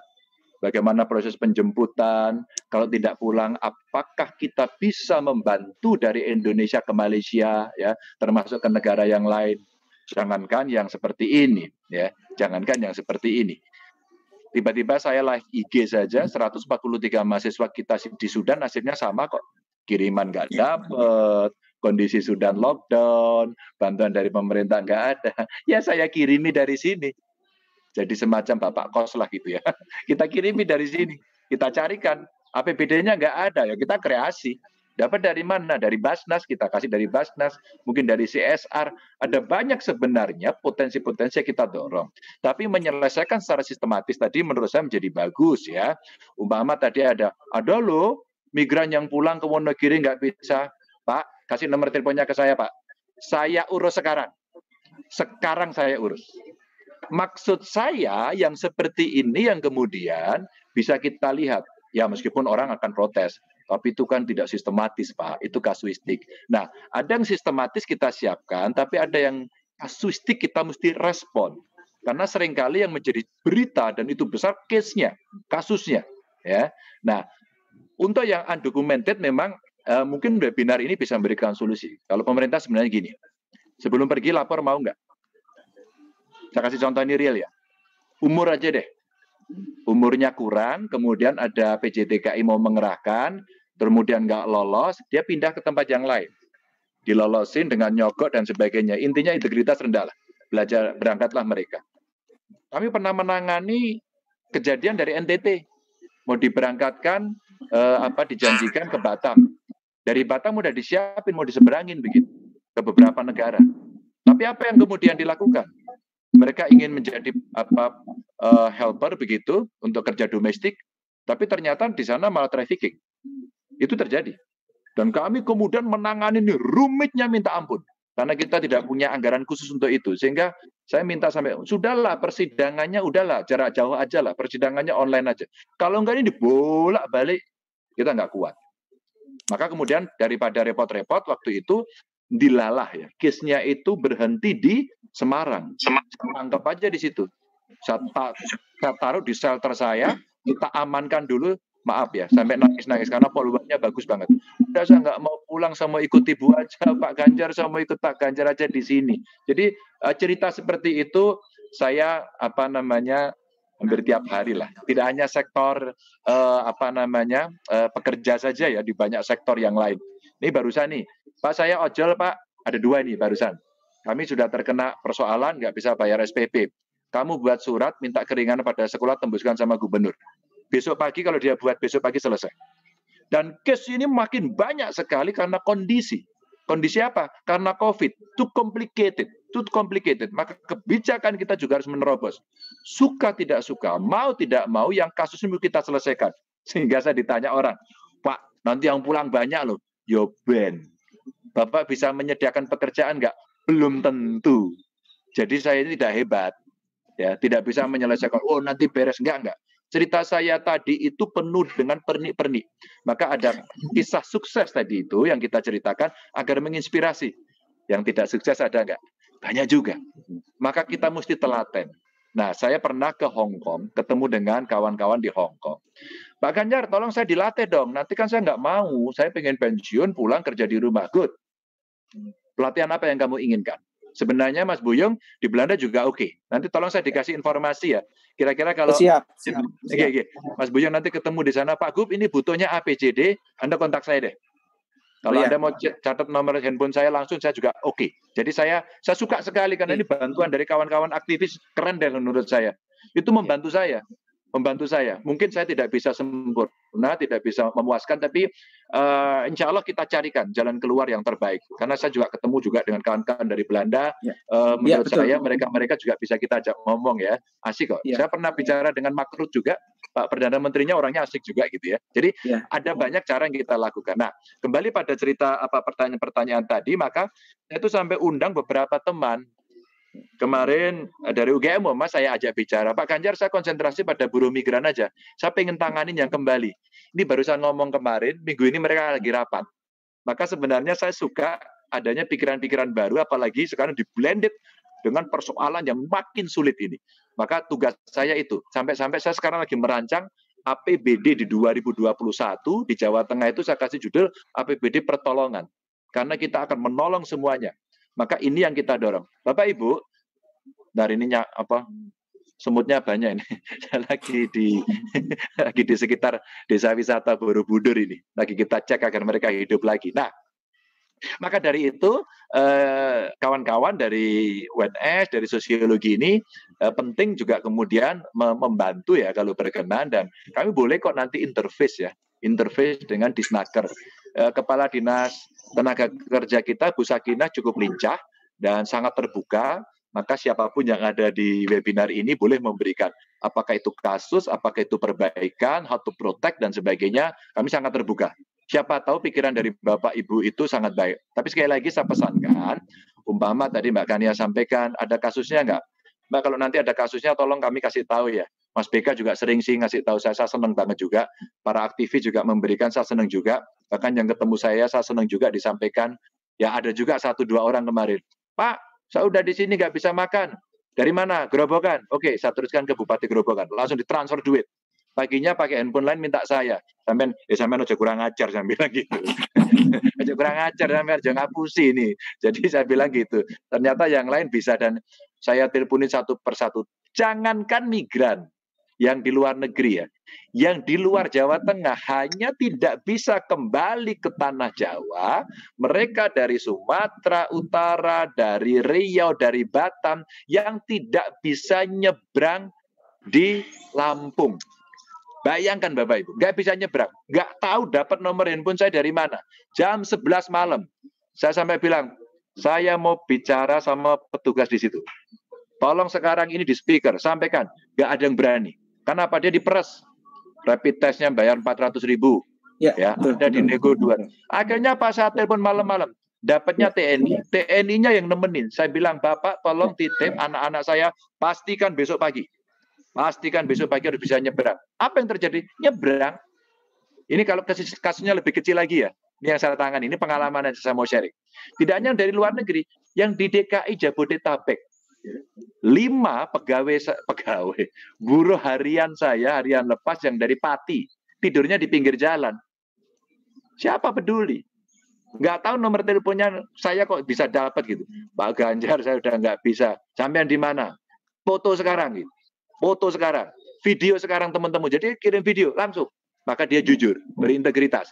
Saya punya kantor perwakilan. Kirim dia makanan hari ini. Akhirnya setelah saya hitung saya suruh daftar 68 ribu setelah kita verifikasi 27.400, saya negosiasi dengan Gubernur DKI, Jabar, Banten, di Jabodetabek karena kena PSBB. Mereka buru-buru juga. Akhirnya apa? Ya sudah karena kemampuannya tidak terlalu tinggi, ya saya tidak akan mempersoalkan itu. Lebih baik saya kirim sembako dari Jawa Tengah. Saya kirim, dibagikan ke mereka semuanya. Maka komunitas-komunitas kemudian membantu. Bapak Ibu, saya mungkin tidak terlalu pandai menjelaskan dari basis keilmuan membaca data dan bagaimana menyelesaikan, tapi sharing pengalaman saya ini untuk menunjukkan sebenarnya komitmen saja sih untuk itu bisa menyelesaikan. Dan insya Allah kalau Bapak Ibu ada yang dari Jawa Tengah, in case ya untuk Jawa Tengah, dan itu ada persoalan untuk diselesaikan, kontak saya. Ya, silakan kontak saya. Jadi mungkin dari Mas Bagus atau siapa yang sudah dan membutuhkan nomor telepon saya silakan itu di share dan saya sangat suka. Ya, Mas Buyung, teman-teman, ya, Mbak sip, Kania, sip, sip. Mas Wahyu, Ya. terima kasih ya, Mas Bagus. Saya harus minta maaf betul karena hari ini saya masih harus melihat beberapa tempat ya untuk menyiapkan mereka agar punya kepercayaan diri lagi untuk bangkit, untuk tidak banyak menangis di rumah, mengeluhkan dengan mental yang makin down karena tidak bisa makan. Ya, saya ingin lagi menggerakkan mereka untuk bangkit lagi. Kita mampu, kita bisa. Jangan mengeluh. Ada kita semuanya kok. Ada saya di belakang Anda. Kira-kira begitu. Matur nuwun, mohon maaf kalau ada kekurangan. Salam untuk semuanya. Saya pamit dulu. Assalamualaikum warahmatullahi wabarakatuh. Eh, mohon maaf Pak Ganjar, sebelum pamit mungkin eh, mungkin ada sesi foto dulu sebentar bersama untuk sama Pak Ganjar sebelum Pak Ganjar pamit. Oke. Mana fotonya? Via virtual Pak. Makanya, ini kalau via virtual ini dipoto gini terus dipotong kecil-kecil dari ukuran dua kali tiga kayak mau dipakai untuk ijazah. New normal Oke, oke, Pak. oke. Oke Oke, ya. Oke Oke, semuanya. kasih, kasih fotonya. Ya. Oke ya. Saya ini duduk di pendopo dan saya ngambil sengaja di belakang saya toilet biar Anda ingat. No, oke, siap. Oke semuanya ya, untuk sebelum Pak Ganjar pamit karena ada acara berikutnya. Oke, untuk itu kita mulai foto bersama. Ya, semuanya sudah siap ya? Oke, Udah sa- pejet aja. Siap, satu, dua. Oke, sekali lagi, satu, dua. Oke. Terima kasih Pak Ganjar atas waktunya. Maaf ya, maaf ya teman-teman, maaf, makasih Oke. banget, makasih. Terima kasih udah membantu. Yes, ya. selamat Salam salam siang, buat semuanya. Sehat Yes, selalu Pak ya. Ganjar. Sehat Ya, selalu. Amin. Jangan lupa pakai Pak. masker loh, jangan lupa pakai masker ya. Siap, Pak. Oke. Oke, tadi dari udah dijawab pertanyaan dari Pak Ganjar. Mungkin sekarang saya akan langsung ke saya berikan kesempatan untuk menjawab pertanyaan yang tadi dari si para penanya dari dari Mas Buyuk dan Mbak Ania dari Komnas HAM. Ya, soal stigma ya, saya kira ini men- memang menjadi perhatian utama ya, karena eh, pengalaman migrant care soal stigma penyakit ini juga ketika kita eh, waktu itu menangani kasus SARS pada tahun 2003 itu. Jadi SARS itu waktu itu mendera di Hong Kong dan Taiwan. Nah, ketika TKI kita pulang ke tanah air, itu ada perda khusus wajib lapor TKI. Perda ini ada di wilayah Jawa Tengah juga di Kabupaten Kendal. Tapi ini ti- tidak berlaku untuk para pelawat yang lain seperti turis, seperti pelajar, student atau pengusaha yang habis dari luar negeri. Jadi itu memperlihatkan betapa oh, stigma itu lebih banyak pada blue collar ya, bukan pada white collar, eh, pada Ya. kelompok-kelompok pekerja eh, upahan seperti itu. Nah, saya kira saya senang ketika kemudian WHO itu mengeluarkan protokol kesehatan. Nah, protokol itu non diskriminatif pada siapa pun saja gitu ya. Sehingga saya kira dengan adanya protokol itu stigma saya kira meskipun tetap ada ya.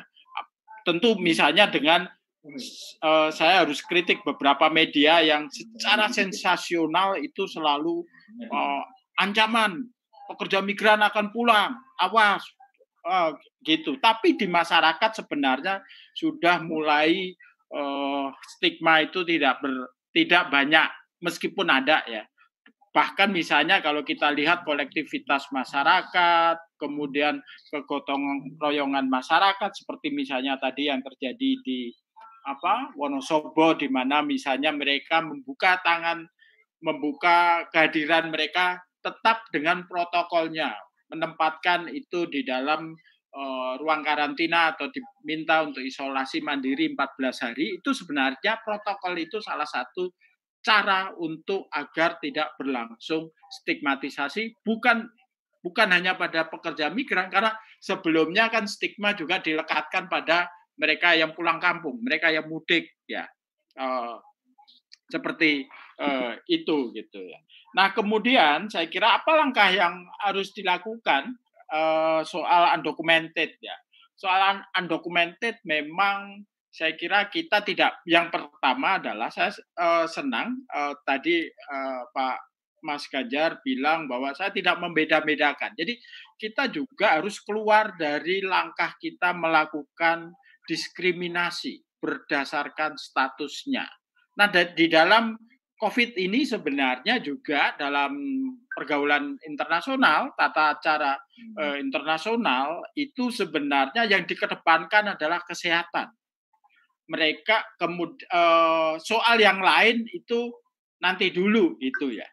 Nah, ini kan ini ya Kak eh, saya sedang lagi bikin studi tentang perbandingan Asia Tenggara soal respon COVID ini. Singapura itu menerapkan ini. Singapura itu tahapan pertama udah mulai berhasil, tahapan uh, krisis kedua dipicu oleh migrant worker. Alih-alih mereka misalnya melakukan pengusiran, melakukan deportasi seperti Malaysia, enggak, mereka melakukan rapid test pada 37 ribu pekerja migran. Tentu biaya sangat tinggi, tapi itu dia kedepankan demi kesehatan. Seperti itu. Sehingga uh, krisis ini kemudian uh, Singapura mulai uh, apa pulih lagi. Beda dengan Malaysia. Malaysia bahkan menggunakan momentum ini untuk mengusiri pekerja migran kita. Bukan hanya pekerja migran kita, pengungsi Rohingya juga mereka tolak uh, seperti itu. Bahkan sekarang itu ada operasi benteng di mana dengan atas nama membentengi uh, perbatasan, mereka melakukan penangkapan-penangkapan ini. Kita ingat satu dua minggu yang lalu bahkan komisioner tinggi hak asasi manusia Perserikatan Bangsa-Bangsa mengeluarkan uh, kecaman terhadap sikap Malaysia yang tidak melakukan relaksasi kebijakan uh, keimigrasian. Kita contoh Indonesia ya, saya contoh Indonesia. Indonesia sesebel apa pun kita kan salah satu klaster di Indonesia ini adalah jamaah ex jamaah tabligh yang ada di Goa. NTB, Sulawesi Selatan, Jawa Tengah itu salah satu klasternya dipicu oleh mereka. Jumlah mereka, jumlah jamaah tabligh warga negara asing di sana itu di Indonesia sekarang itu 682 orang. Alih-alih kita mendeportasi mereka, mereka tetap dirawat. Ada yang dirawat di wisma atlet, ada yang di karantina, seperti itu. Kita kesampingkan dulu kekesalan kita, kita kesampingkan dulu uh, mereka menjadi sumber uh, apa epicentrum ini karena yang harus dikedepankan adalah kesehatan seperti itu. Makanya sebenarnya saya bilang sama Bu, Bu Retno, Bu, kita itu punya contoh contoh bagus untuk melakukan relaksasi keimigrasian ini. Bagaimana kita melakukan perlakuan terhadap uh, pekerja uh, migran uh, uh, kita, uh, bukan pekerja migran kita, pada jamaah tabligh yang masih ada di Indonesia dan kita tidak mendeportasi uh, apa mereka uh, seperti itu. Nah, sebenarnya Undang-Undang 18 tahun 2017 itu memberi ruang sebenarnya kita untuk mereduksi adanya uh, apa undocumented migrant worker itu dengan melakukan desentralisasi dan peran desa ini sangat penting sekali. Jadi bah, bahkan COVID ini sendiri memperlihatkan bahwa desa mungkin bukan hanya desa migran tapi juga desa-desa yang lain desa migratif itu ternyata juga bisa menjadi desa tanggap uh, apa uh, COVID dan dalam konteks undocumented desa menjadi uh, poin pertama untuk melakukan verifikasi dokumen. Di masa lalu mungkin di tata kelola lama desa menjadi Eh, predator bagi pekerja migran, memasukkan umur, memasukkan identitas yang lain. Tapi di masa sekarang kita harus dorong desa itu menjadi protektor awal bagi uh, pekerja uh, migran dan Undang-Undang 18 tahun 2017 itu memberi ruang itu kalau nggak salah pasal 42 atau pasal 47 tentang uh, peran desa itu. Nah, yang memang harus dilakukan adalah bagaimana implementasi itu penerimaan juga pemerintah daerah pada konteks eh, apa uh, pelindungan uh, pekerja migran. Saya kira itu Mas Bagus. Oke, terima kasih Pak Wahyu atas pemaparan jawabannya. Oke, mungkin langsung saya akan berikan kepada Pak Aris ya untuk menjawab pertanyaan tadi dari Mbak Kania dan Mas Buyung dan Pak Prio. Oke, saya untuk waktunya saya persilakan kepada Pak Aris. Terima kasih. Tadi uh, ada pertanyaan tentang pekerja yang undocumented. Ini memang yang paling paling rumit saya rasa ya dari eh, pekerja-pekerja migran yang tidak berdokumentasi. Bahkan penelitian saya yang di Malaysia dulu itu menunjukkan bahwa mereka sudah tinggal di sana lebih dari 20 tahun. Dan ada kecenderungan mereka untuk tidak berkeinginan untuk balik ke sini. Dari sejumlah informan saya yang masih ada di sana, yang sebagian besar adalah undocumented, eh, mereka tidak berkeinginan balik meskipun ada situasi COVID ini. Pertama karena mereka memiliki jaringan yang cukup kuat yang mampu mempertahankan kehidupan mereka di situ dan mereka memperoleh penghasilan yang jauh lebih besar daripada mereka bekerja melalui agen. Ini juga satu persoalan yang serius. Oleh karena itu sekarang Malaysia tidak lagi sebenarnya mengikuti untuk uh, mengambil tenaga kerja melalui agen tetapi mereka dapat mengambil secara langsung. Ini yang menjadi persoalan karena menjadi perbe ada perbedaan hukum antara yang di Malaysia dengan yang di Indonesia. Sementara di Indonesia penyaluran tenaga kerja itu harus melalui PJTKI, tetapi di sana eh, orang bisa mengakses secara langsung ke kantor migrasi, kemudian mencari lowongan mana yang memerlukan, dan kemudian dapat berhubungan dengan pihak-pihak yang membutuhkan. Nah, pekerja sektor rumah tangga untuk menghemat e, biaya, mereka tidak melalui agen sehingga tenaga kerja yang nanti bekerja pada sektor rumah tangga itu dapat langsung bertemu dengan e, pemilik bukan pemilik, tetapi majikan yang menjadi tenaga kerja pekerja rumah tangga tadi. Nah, dia berhub bisa berhubungan secara langsung. Nah, ini menjadi cukup besar dan itu tidak melalui PJTKI. Ini yang menjadi problem. Sehingga sebenarnya dalam konteks hukum, mereka dipandang sebagai trafficking dari sisi hukum Indonesia. Tetapi dari hukum Malaysia itu dipandang bukan trafficking, tetapi justru sebagai cara mereka untuk mengurangi uh, jumlah dari pekerja migran yang undocumented di situ. Karena akibat dari adanya agen-agen tadi itu mereka harus dipotong biayanya dan akhirnya mereka lari dari agen setelah tiga bulan dan menjadi undocumented. Nah, Malaysia melakukan cara yang berbeda sehingga eh, dalam beberapa hal mereka langsung pergi ke sana, bisa berhubungan langsung, bisa pulang balik, melakukan kontrak secara langsung tanpa ada PJTKI. Nah, semua buruh migran yang tidak berdokumentasi di sana adalah dulu adalah mereka yang pernah melalui agen, yang lari dari agen karena potongannya sangat tinggi dan mereka masih berada di sana. Nah, ini menjadi satu persoalan sendiri. Agak susah untuk menghitung jumlahnya berapa, tetapi pemerintah Malaysia memperkirakan 2 juta lebih yang tidak memiliki uh, dokumen. Tetapi yang berdokumen itu terlebih mudah untuk diidentifikasi. Itu satu persoalan sendiri yang juga sejumlah uh, dari tenaga kerja PMI yang ada di Malaysia itu mereka akhirnya balik dan mereka terdeportasi karena tertangkap karena ada tadi uh, operasi benteng yang sudah dijelaskan oleh Mas Wahyu tadi. Ini ini membuat mereka berkesempatan untuk tertangkap oleh pemerintah Malaysia sehingga dipulangkan, dideportasi. Nanti nanti kita akan ada teman yang akan menjelaskan mengenai itu. Nah, kemudian solusi yang yang perlu kita pikirkan tadi sudah disinggung uh, oleh Mas Wahyu mengenai Des Bumi. Des Bumi ini menunjukkan satu kegiatan yang sangat positif yang sangat dibantu oleh XPMI yang memang memang sudah memiliki pengalaman atau skill yang cukup bagus untuk mengembangkan sektor usaha di daerah pedesaan masing-masing. Seperti tadi membuat eh, apa masker, kemudian PDA dan lain sebagainya. Nah, di situ mereka menjadi penting sebenarnya secara ekonomi yang harus diintegrasikan. Tadi yang tadi saya sebut sebagai ekonomi gotong royong dengan mengintegrasikan sektor-sektor besar khususnya itu adalah BUMD kalau itu ada di Jawa Tengah. Demikian juga bila itu ada di Jawa Timur ataupun di Jawa Barat.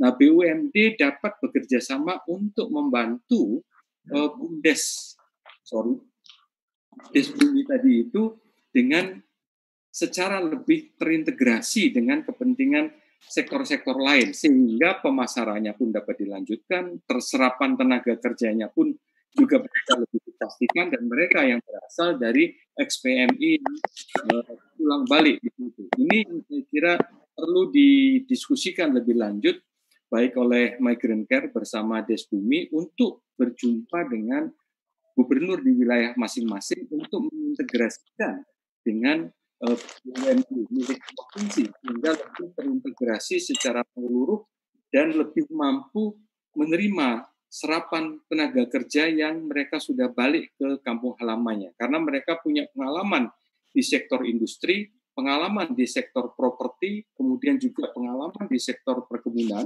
Walaupun yang perkebunan ini relatif sedikit yang balik karena dalam konteks pandemik ini masih relatif aman karena mereka Eh, berjarak antara pekerja yang satu dengan pekerja yang lain dan jaraknya itu sangat sangat sangat jauh.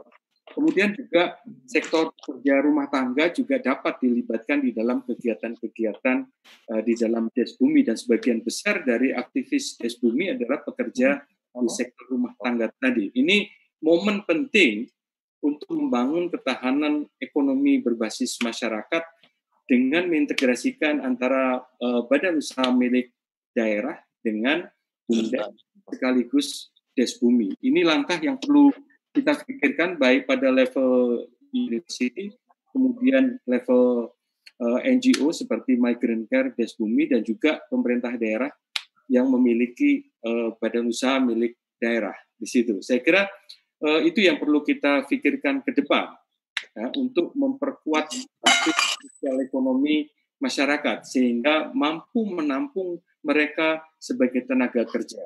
Ya, karena eh, ketersediaan tenaga kerja yang masih lemah itu sebenarnya bisa diatasi dengan strategi membangun pola ekonomi gotong royong atau ekonomi solidaritas. Sekarang sedang dikembangkan oleh dalam di beberapa negara dalam konteks mengatasi masalah COVID ini. Saya kira itu Pak Mas Moderator supaya mempersingkat waktu. Oke, terima kasih. Mungkin begitu jawaban dari pertanyaan dari Mas Buyung dan Mbak Kania. Oke, supaya kita langsung maju. Langsung. kotak bawah itu loh, Bu. Bukan biru yang ya. itu gambar aplikasi. Uh, mohon di unmute, di mute dulu untuk partisipan ya karena kita akan lanjut. Oke. Okay. Oke, terima kasih tadi untuk itu kemudian kita akan langsung lanjut berikutnya. Ke pembicara berikutnya itu ada Pak Theo. Pak Theo Suryadi dosen sosiologi UNS ya FISIP UNS oh, Mbak Mbak Jum. Mbak Jum atau Mbak Jum dulu boleh? Itu melalui Mas Bambang. Nama dengan Mas Bambang Teguh. Oh gitu. Oke. okay. Oke, kalau kepada Mbak Jum yang lewat akun Pak Bambang Teguh, Migran Care-nya, saya persilakan untuk menyampaikan materinya. Ya. Untuk waktu dan tempatnya saya persilakan. Aku. Ngomong apa?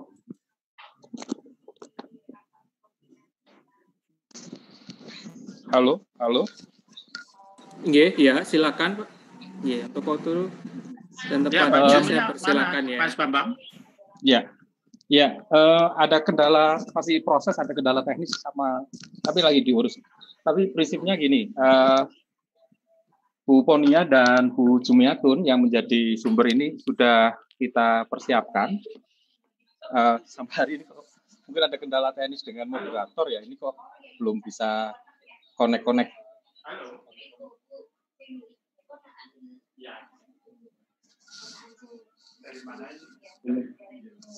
Kalau belum bisa connect mungkin bisa Mas Theo dulu. Maaf, saya sedang sedang sedang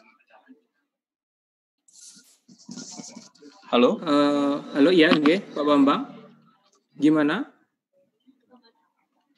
Uh, mohon pihak moderator untuk me, ini. Kalau tidak, uh, saya langsung akan ke Ya. Mohon yang lainnya untuk di ya. partisipan ya. lainnya di ya, dulu lainnya ya. dulu aja. Uh. Oke, ya. Oke, untuk Pak Pilus Suryadi, kalau gitu saya boleh saya mempersilakan sembari menunggu dari gini Pak Theo mungkin sil tadi ada Oke. Okay. Oke, silakan Pak Theo untuk membawakan materinya untuk waktu dan tempatnya saya persilakan. Oke, selamat siang untuk uh, para partisipan semuanya. Uh, kedengaran ya? Halo? Dengar, kedengar, terdengar. Silakan Pak, lanjutkan. Terdengar. Uh, terima kasih untuk uh, kesempatan yang diberikan kepada saya. Uh, saya lebih melihatnya dari perspektif apa ya, citizenship ya, semacam uh, refleksi dari sudut pandang apa politik lembaga negaraan. Jadi itu yang jadi saya ini uh, ketua uh, dalam hal ini Pak Arif. Nah, uh, setelah saya mengikuti apa perbincangan tadi dari mulai dari Pak Buk dan beberapa pembicara yang lain, uh, saya tidak uh, hanya membicarakan apa situasi sekarang dan bagaimana kita harus menghadapinya, tapi kita, kita juga harus uh, trace back dan uh, masalah pekerja migran kita di waktu-waktu yang sebelumnya. Karena apa yang terjadi pada hari ini adalah uh, hati atau proses uh, panjang tapi dalam rangkaian panjang tentang kebijakan migran Indonesia. Nah, misalnya masalah migran yang undocumented itu uh, ada beberapa literatur yang saya coba lihat dan uh, menemukan bahwa problem undocumented itu uh, ternyata menjadi satu problem yang pelik. Uh, berdasarkan data misalnya, kenapa orang tidak terdokumentasi kita bisa melihat dari cara bagaimana mereka mendapatkan pekerjaan. Itu berdasarkan data dari BPN, BNP 2 DKI, ada 60 persen dari uh, pekerja migran itu mendapatkan info tentang lowongan kerja dari broker. Lalu uh, 20 persennya dari tetangganya dan uh, dari temannya dan apa lainnya itu adalah dari uh, kenalannya. Artinya dalam hal ini pemerintah sebagai uh, sumber informasi yang ter, apa terpercaya untuk mendapatkan lowongan kerja ya ternyata mereka tidak diminati atau bahkan tidak menjadi referensi utama dari uh, para pekerja migran itu untuk mendapatkan uh, informasi pekerjaan. Nah, itu kemudian salah satu salah satu hal yang menyebabkan uh, para pekerja itu tidak terdokumentasi dengan baik.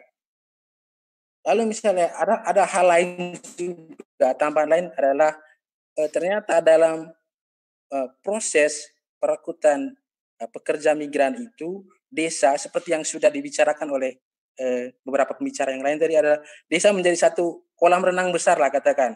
Bagaimana uh, uh, desa itu menjadi tempat uh, para pekerja migran itu didapatkan dan sekaligus juga eksploitasi terhadap mereka. Nah, menariknya adalah di desa itu uh, bahkan para perangkat desa bisa menjadi sponsor broker dan rekrutmen, recruiter terhadap uh, para pekerja migran. Jadi batas antara sponsor, broker dan uh, recruiter itu tidak jelas dan saya membacanya itu sebagai oligarki di tingkat lokal yang kemudian menjadi uh, pihak yang memanfaatkan para pekerja migran untuk mendapatkan keuntungan. Jadi eksploitasi itu sudah mulai terjadi di desa. Nah, dua kasus ini sudah cukup untuk uh, memberikan uh, kita sebuah pembacaan terhadap masalah kewarganegaraan kita hari ini.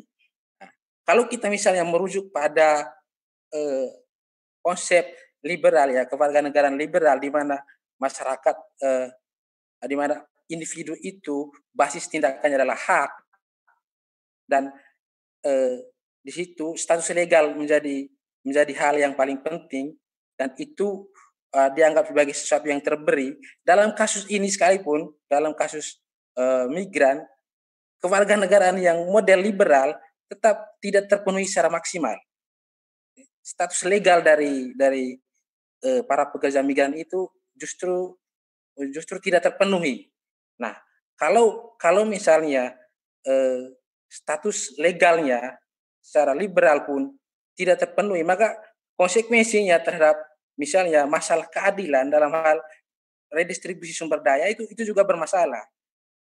Bermasalah karena apa?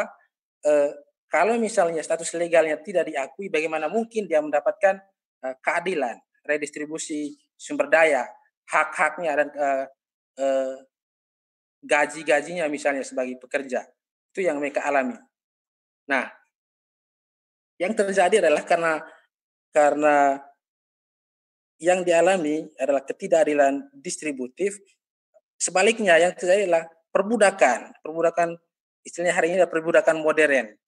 Ada beberapa pembicara yang tadi sudah mengatakan trafficking.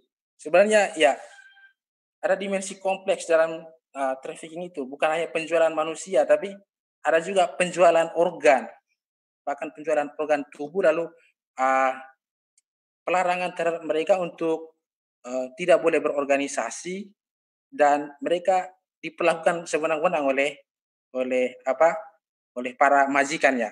Jadi masalahnya adalah uh, dari dari perspektif uh, liberal misalnya ya kita bisa melihat bahwa masalah masalah migran kita hari ini ya sungguh uh, tidak tidak beroperasi secara penuh lah katakan. Kalau kita berbicara lebih jauh misalnya bagaimana konsep partisipasi aktif kewarganegaraan dalam kasus ini, ya sepertinya eh, para pekerja migran itu lebih menjadi korban, korban dalam eh, baik eh, secara eh, baik dalam kacamata liberal maupun eh, apalagi dalam eh, kacamata misalnya eh, model kewarganegaraan yang aktif atau kalau kita membahasakan secara lebih apa ya civic republikan.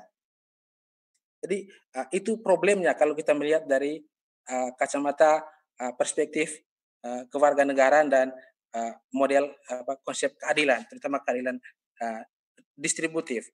Nah, kalaupun keadilan distributif hari ini uh, tidak terpenuhi, maka akan lebih riskan lagi atau lebih susah lagi untuk berbicara tentang aspek rekognisi atau partisipasi terhadap uh, uh, pihak pekerja migran.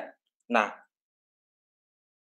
itu semua uh, kalau kita lihat uh, uh, hari ini uh, di apa terjadi dalam sebuah suatu kondisi di mana struktur ekonomi politik kita memang tidak adil. Jadi kita bisa lihat misalnya secara global, secara nasional, regional, bahkan di tingkat desa sekalipun, uh, ya itu karena ada sebuah kondisi ekonomi politik yang tidak adil. Ada di desa sekalipun ada uh, sekelompok orang yang menjadi uh, apa broker sekaligus sponsor sekaligus rekruter dan mereka secara ekonomi dan secara politik mereka kuat di tingkat lokal dan para pekerja migran ini adalah orang-orang lemah yang membutuhkan kerjaan. Jadi uh, apa yang akan kita lakukan pada hari ini saya kira uh, kita harus kembali melihat struktur dasar ekonomi politik masyarakat kita hari ini. Nah, mungkin ide seperti yang di uh, di diungkapkan oleh Pak Aris misalnya mulai ekonomi gotong royong itu menjadi salah satu uh, terobosan yang uh. Jadi uh, kesimpulannya adalah uh, kalau kita melihat membaca dari perspektif kewarganegaraannya ya dari sisi liberal pun itu tidak beroperasi secara penuh dan uh, keadilan distributif pun tidak berjalan, uh, terlebih banyak uh, macet uh, dan itu kembali kepada uh, struktur ekonomi politik kita dari level yang sangat lokal. Jadi itu uh, pendapat dari saya. Jadi saya tidak perlu berbicara panjang lebar nanti kita sambung di diskusi. Terima kasih. Baik, terima kasih Pak Theo atas waktunya dan penyampaian pendapat atau materinya. Oke, kalau gitu mungkin langsung saya akan buka sesi tanya, tanya jawab. Ya, ini tidak hanya untuk Kepatiwa, tapi kepada semuanya. Sesi kedua mungkin ada yang mau bertanya dari para peserta. Kalau mau bertanya silakan langsung di unmute uh, speakernya. Ya. Halo Mas Bagus. Oke, okay, iya Pak. Ya saya lagi Pak Ya. Priyo. Oke. Saya eh, kok saya dari tadi belum belum mendapatkan penjelasan tentang ekonomi gotong royong itu yang seperti apa realnya. Tadi juga disinggung Mas Theo. Saya per- eh, saya termasuk pe- apa eh, setuju apa yang dikatakan Mas Theo bahwa oligarki dalam konteks eh, pekerja migran itu terjadi pada tingkat desa. Kalau kita melakukan riset pasti itu terjadi ya, gitu ya. Nah kemudian salah satu upaya tadi kan ekonomi gotong royong itu realnya seperti apa? Realnya, karena kalau eh, hanya pada tataran konsep saya kira ya tidak ada gunanya. Terima kasih. Terima kasih Pak Prio. Sebelum saya kasih, mungkin ada lagi yang mau bertanya kepada para Boleh, pembicara yang tadi sudah memberikan materi. Selain Pak Prio, ada lagi?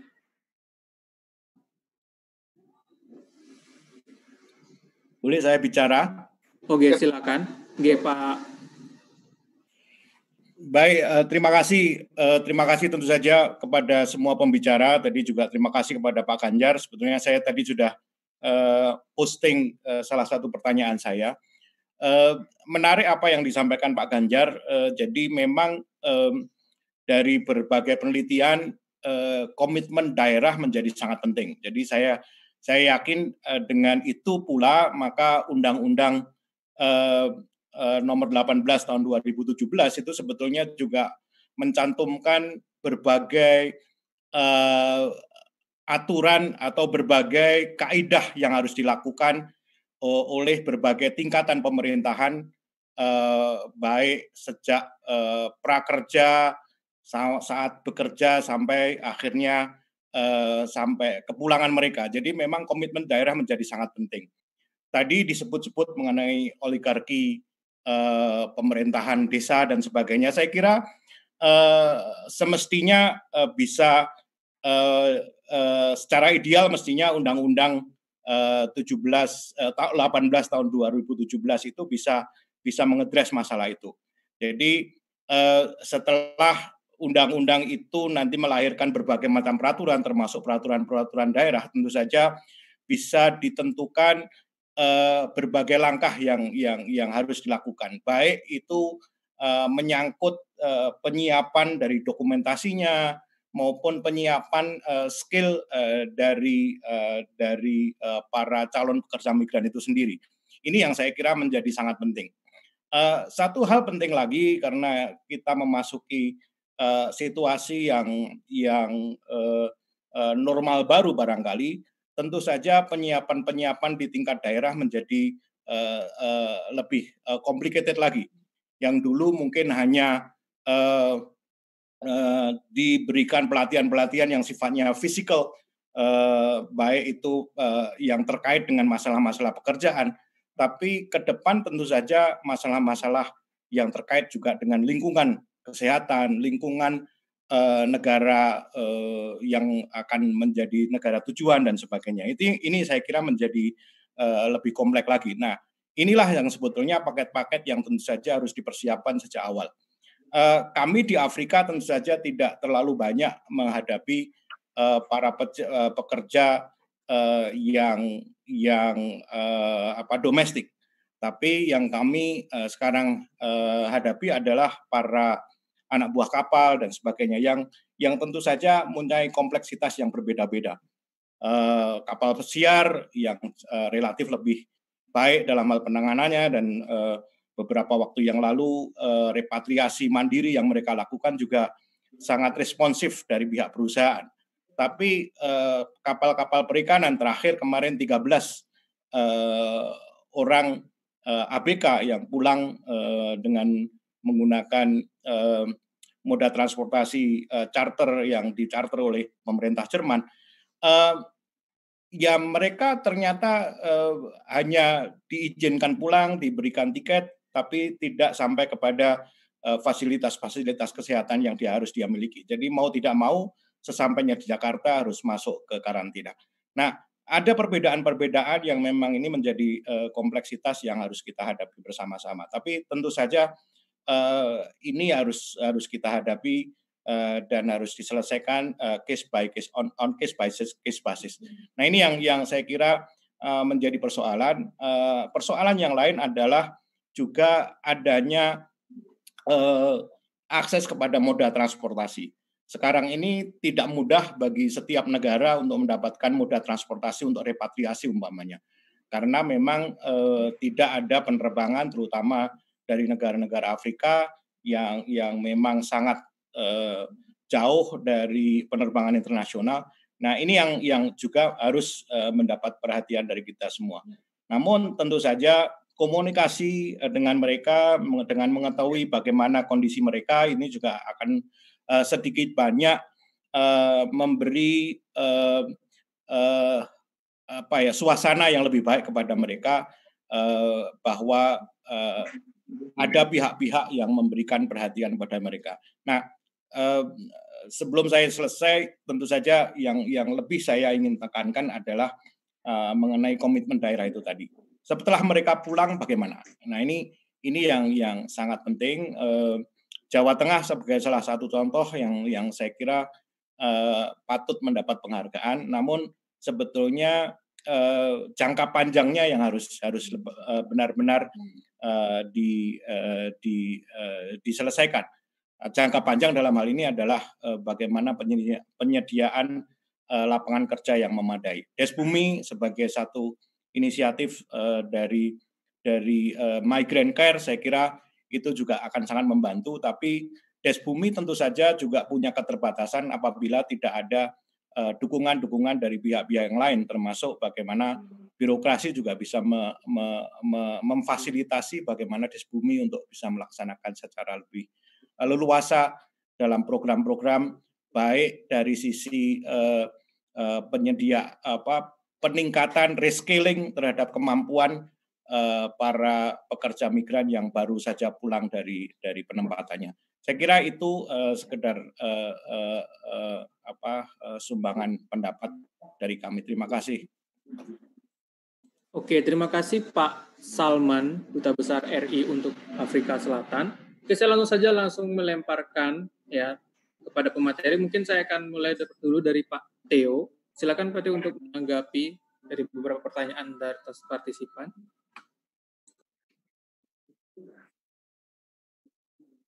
Oke, uh, uh, menyangkut pertanyaan dari uh, Pak Dibio tadi tentang uh, apa langkah konkret dari misalnya uh, ekonomi gotong royong ya, uh, mungkin itu masih agak abstrak ya.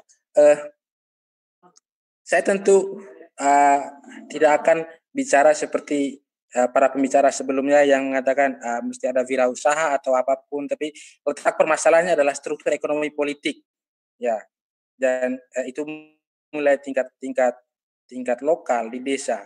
Dan kalau itu kalau begitu maka penyelesaiannya juga bukan pada individual tapi uh, pada sistem yang mesti dibangun. Nah, kalau kita misalnya salah satu hal yang saya mau bicarakan adalah satu hal ide adalah uh, bagaimana misalnya komitmen pemerintah terutama pemerintah daerah misalnya menciptakan model sistem ekonomi yang uh, uh, tidak dikatakan baru lah, tapi saya coba uh, uh, menambahkan ya atau bukan menambahkan, saya uh, pernah pernah uh, uh, mendalaminya sedikit. Namanya creating shared value atau kalau kalau teman-teman pernah mendengar disingkat CSV. Jadi itu sebetulnya saya kira model uh, CSR yang uh, yang baru dan uh, kalau teman-teman bisa uh, apa uh, bisa trace itu di di banyak literatur ya intinya adalah bagaimana misalnya secara sederhana misalnya kerjasama antara uh, para uh, pengusaha misalnya dengan uh, para petani atau oh, oh, para peternak di daerah pedesaan misalnya. Nah, misal kalau kalau misalnya di daerah perhotelan, misalnya sebagai contoh kasus ya, daerah perhotelan uh, mereka membutuhkan sayur yang yang bermutu. Nah, mestinya mereka uh, bekerja sama dengan orang-orang uh, desa ya yang daerahnya bisa menghasilkan sayur, mereka diberi pengetahuan kapasitas untuk bagaimana menghasilkan sayuran bermutu sehingga uh, masyarakat desa pun punya pasar dan punya uh, apa pengetahuan bagaimana kemudian menghasilkan uh, sayur atau ternak yang yang apa yang bisa uh, sesuai dengan tuntutan pasar dan uh, share share pengetahuan, share modal, share uh, sumber daya itu yang disebut share creating shared value dan tentu saja ini kemudian uh, bisa uh, bisa dilakukan kalau ada komitmen politik dari uh, pemerintah misalnya untuk bagaimana membuat ini dalam sebuah uh, peraturan daerah yang bisa mengikat. Jadi uh, dengan itu misalnya kita tidak menjawab persoalan secara individual, tapi menjawab persoalannya itu dengan menawarkan sebuah alternatif sistem, sistem pemberdayaan masyarakat atau pemberdayaan ekonomi masyarakat uh, secara kolektif. Jadi itu tawaran saya dan saya kira itu realistis untuk dilakukan. Saya tidak mengatakan bahwa itu adalah model model ekonomi sosialis atau model ekonomi gotong royong, tapi ya konkretnya seperti itu. Jadi mungkin dengan cara itu orang kemudian tidak melihat bahwa uh, hujan batu di negeri sendiri dan uh, hujan emas di negeri orang sehingga saya pergi pergi ke negeri orang. Jadi sistem kita yang perlu ditata supaya kita sendiri bisa merasakan bahwa ada emas di negeri sendiri. Tuh. Terima kasih. Baik, terima kasih Pak Theo atas tanggapannya. Oke, saya juga menarik tadi tentang yang ekonomi potong royong, ya. Oke, saya akan langsung memberikan kepada Pak Aris untuk untuk menanggapi berikutnya. Untuk Pak Aris, saya persilahkan. Terima kasih. Sebenarnya konsep ekonomi gotong royong ini eh, terkait dengan apa eh, konsep solidarity ekonomi dari dari Miller ya, ya dari konsepnya Miller yang kemudian saya kembangkan di dalam konteks Indonesia. Nah, ini kita perlu berangkat dari apa yang sudah kita punyai di Indonesia sebagai modal dasar uh, dari sistem ekonomi gotong royong itu sendiri. Nah, itu menjadi penting. Kenapa? Karena kita tidak perlu bersusah-susah membangun sesuatu yang belum ada, tetapi yang sudah ada adalah kita punya badan usaha milik negara, kemudian badan badan usaha milik desa, ya, dan juga badan badan usaha milik daerah pada tingkat nasional, provinsi, dan desa. Dan kemudian yang paling penting itu adalah di beberapa desa di Jawa Barat, Jawa Tengah, Jawa Timur itu sudah memiliki desbumi di situ.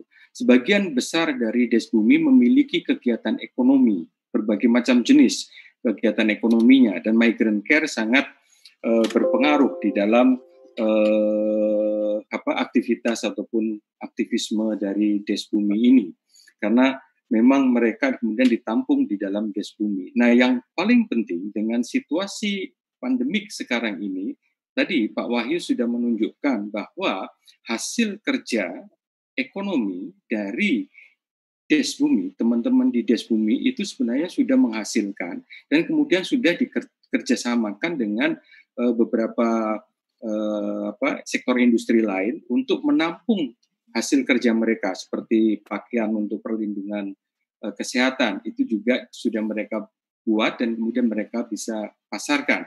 Nah, ini menjadi modal dasar yang sangat penting yang nanti ke depan perlu dikembangkan lebih lanjut model tersebut menjadi lebih terintegrasi, bukan sendiri-sendiri.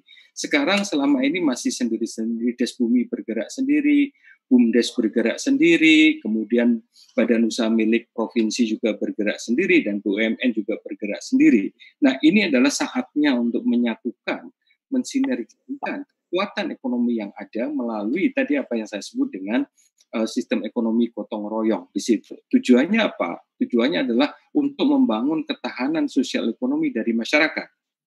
Dan sebagian besar nanti ke depan satu persatu tenaga kerja Indonesia yang berada di luar negeri itu nanti akan balik.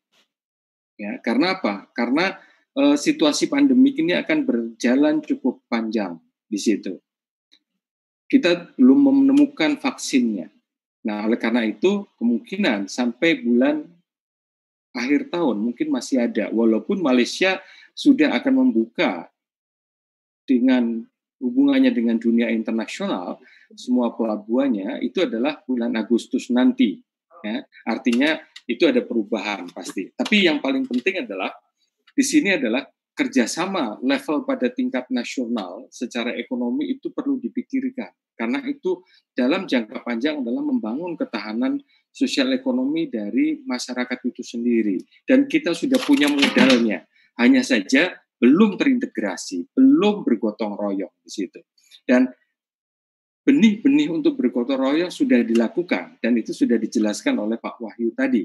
Ini menjadi sesuatu yang sangat penting saya rasa itu yang tadi sudah saya jelaskan mengenai bagaimana bentuk konkret dari uh, sistem ekonomi gotong royong tersebut. Selain tentu saja persoalan-persoalan struktural yang perlu diselesaikan, perlu diperpendek, perlu dipermudah dan lain sebagainya. Tadi saya sampaikan bahwa uh, mereka menjadi tenaga kerja yang tidak terdokumentasi di negara lain itu sebagian besar adalah mereka yang menggunakan agen.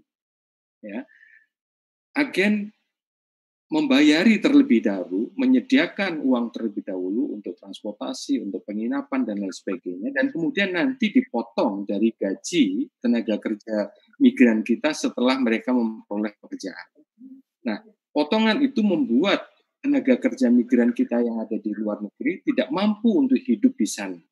Sehingga dalam tiga bulan mereka lari dari agen, meninggalkan semua dokumen-dokumen yang masih dipegang oleh agen ataupun dipegang oleh majikan. Walaupun secara hukum paspor itu adalah milik negara dan tidak boleh dipegang oleh orang lain. Tetapi dalam prakteknya paspor itu dipegang oleh majikan, dipegang oleh pemilik uh, apa, sektor properti, dipegang oleh sektor industri ataupun dipegang oleh majikan dari pekerja di sektor rumah tangga. Akibatnya ketika tenaga kerja kita itu lari dari majikan masing-masing, mereka menjadi kehilangan eh, dokumen mereka.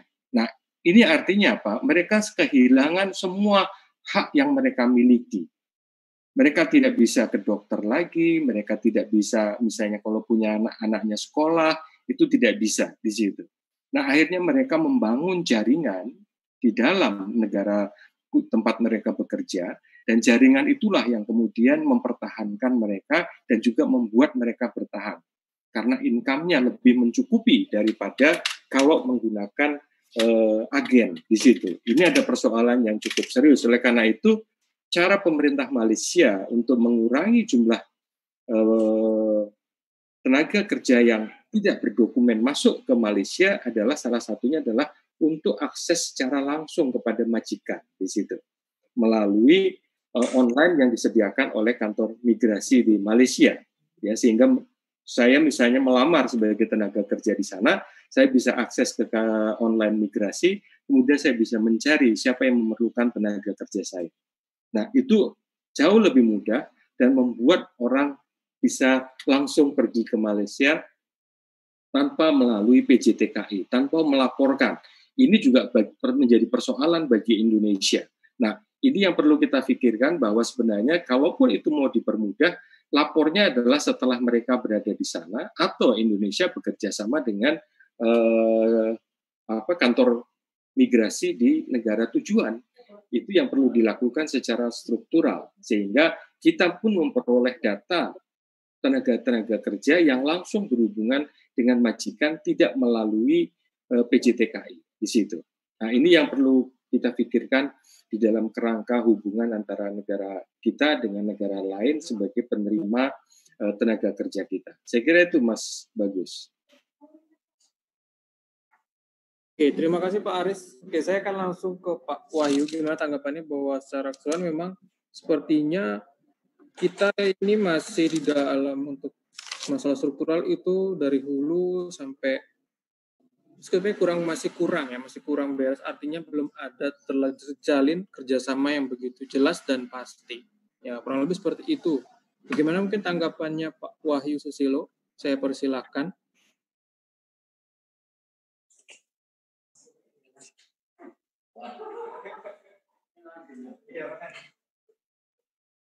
Ya, saya kira kalau secara global itu nggak kelihatan ya.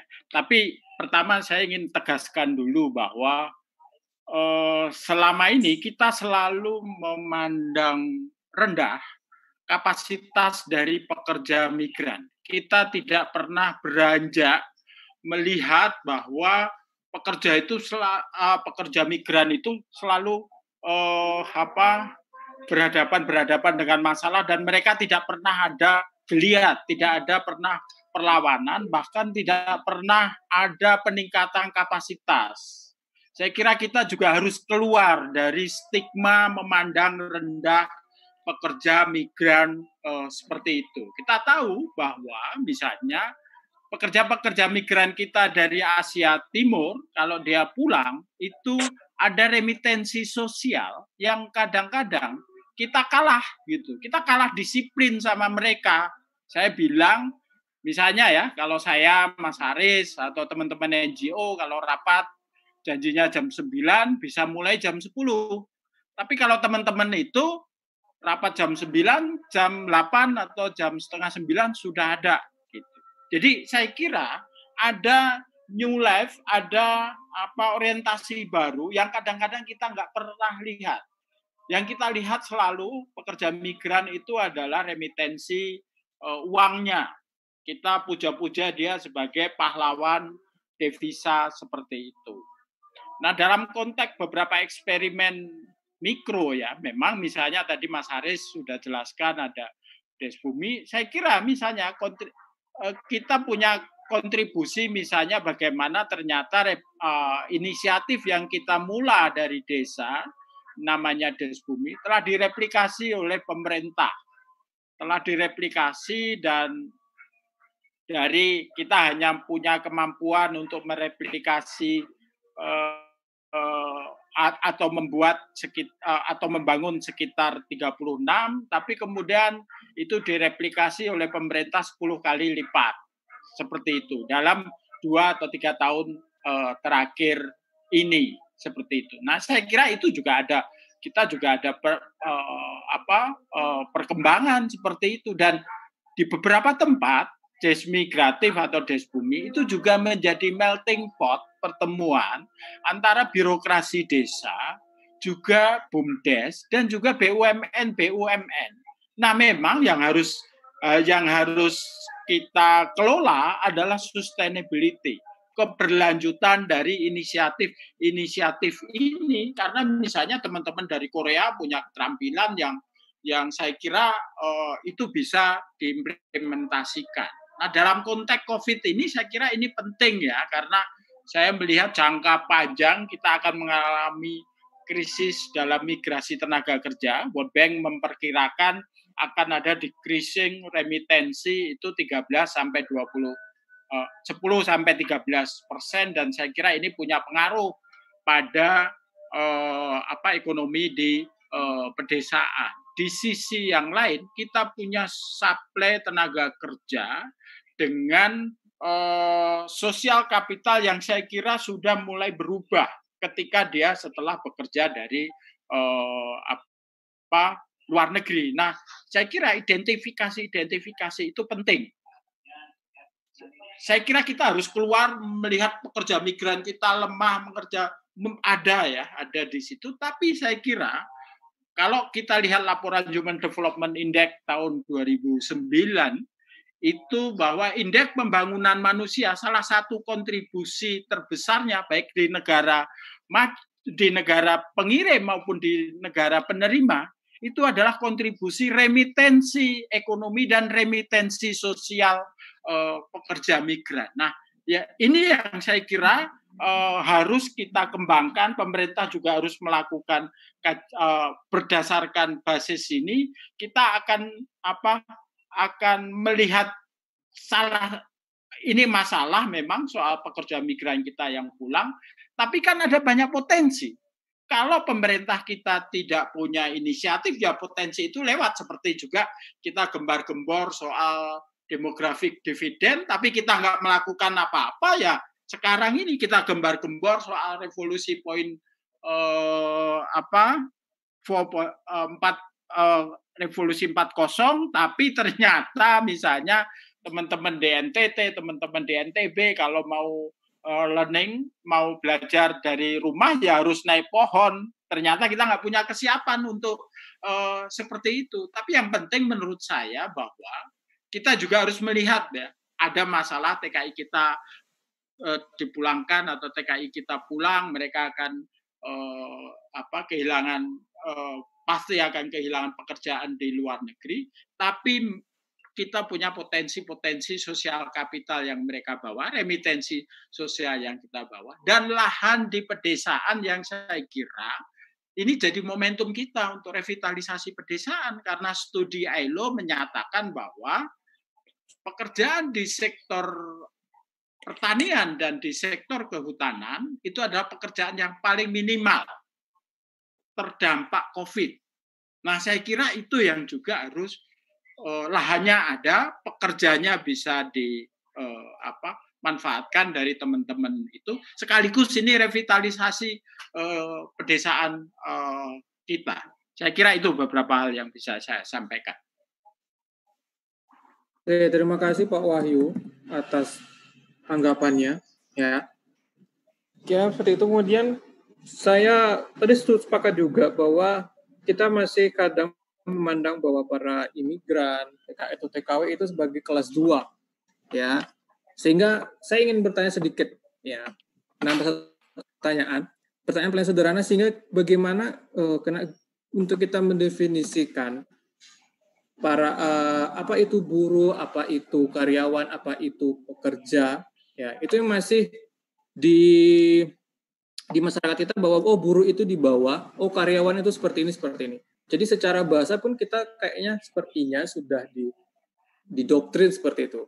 Ya mungkin itu peran saya. Jadi gimana sebenarnya kok bisa kita dikatakan buruh seperti ini? Sehingga buat stereotip bahwa oh buruh itu ya tingkat dua tingkat dua. Jadi seperti itu mungkin bisa ditambahkan mungkin siapa mungkin saya pengen ke Pak Theo dulu ya yeah. gimana kira-kira bahwa tadi juga ini mewakili pertanyaan dari teman pesertanya bahwa Bagaimana kita bisa mengatakan bahwa dia buruh, ini karyawan, ini pegawai, sehingga membuat melahirkan stereotip bahwa yang paling bawah itu adalah buruh secara struktural yang didoktrin oleh bahasa. Mungkin Pak Theo bisa berikan tanggapan. Oke, okay, uh, eh, terima kasih untuk pertanyaannya. Uh, itu memang uh, pertanyaan uh, Mas Bagus itu itu berkaitan dengan bagaimana uh, kita menggunakan bahasa apa eufemisme bahasa dan uh, tentu saja uh, penghalusan penggunaan bahasa itu kemudian berpengaruh dalam cara kita berelasi secara sosial. Misalnya ketika kita menggunakan kata pegawai untuk uh, apa uh, para pekerja berkerah berkerah putih misalnya itu untuk uh, menghaluskan lalu buruh misalnya diidentikan dengan uh, para pekerja kasar uh, ya itu satu model di mana uh, uh, ya kita harus lihat dalam masyarakat bagaimana bagaimana kemudian identitas sosial itu terbentuk melalui penggunaan bahasa ya artinya sebetulnya sama saja cuman uh, masyarakat kita kemudian uh, menggunakan itu untuk ya membentuk identitasnya dan identitas itu juga sering berpengaruh pada bagaimana mereka berelasi satu sama lain. Sama kalau kita misalnya masuk dalam teorinya apa Bourdieu misalnya ya orang yang sama dari kelompok kelas yang sama akan cenderung untuk berkumpul uh, berkumpul dengan uh, kelompoknya karena merasa uh, ada banyak kesamaan dan ya semakin banyak perbedaan di antara mereka maka mereka akan semakin berusaha untuk uh, berpisah itu.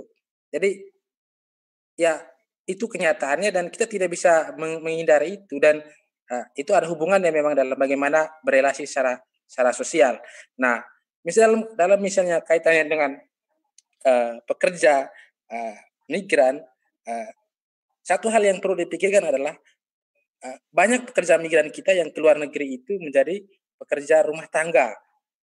Nah, tapi menariknya sekarang kalau misalnya katakanlah mereka kembali ke Indonesia dan mereka dengan keahlian yang mereka miliki tetap memilih menjadi eh, pekerja rumah tangga.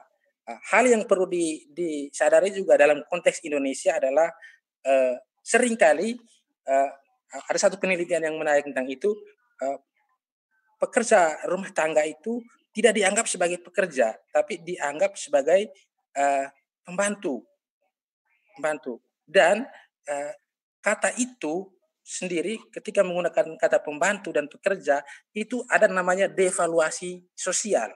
Devaluasi sosial. Dalam arti apa?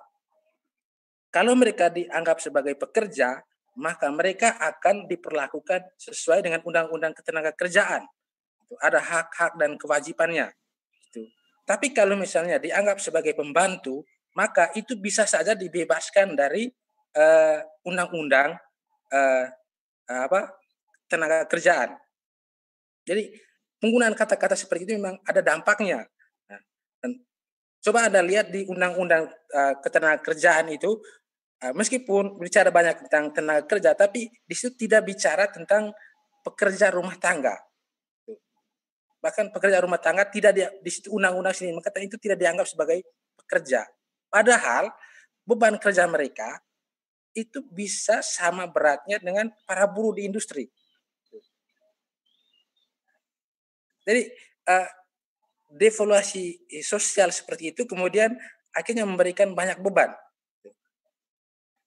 Nah, itu juga misalnya kalau kita lihat dalam uh, uh, apa uh, terkait misalnya pekerja rumah tangga menjadi pembantu rumah tangga, sering kali uh, pembantu rumah tangga itu dianggap sebagai saudara, saudara dari majikannya. Sehingga kalau misalnya uh, pembantu rumah tangga tiba-tiba menganggap dirinya sebagai pekerja, pekerja rumah tangga dan karena itu dia punya status legal secara secara hukum, maka itu dianggap sebagai pengkhianatan terhadap uh, keluarga.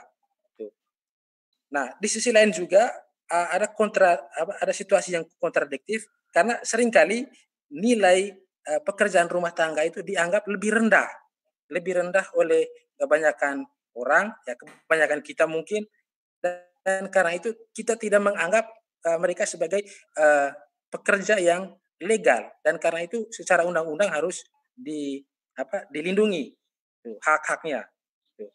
Nah, lebih dari itu misalnya sering kali uh, pekerja rumah tangga itu karena apa secara sosial dianggap sebagai orang yang kurang keahliannya.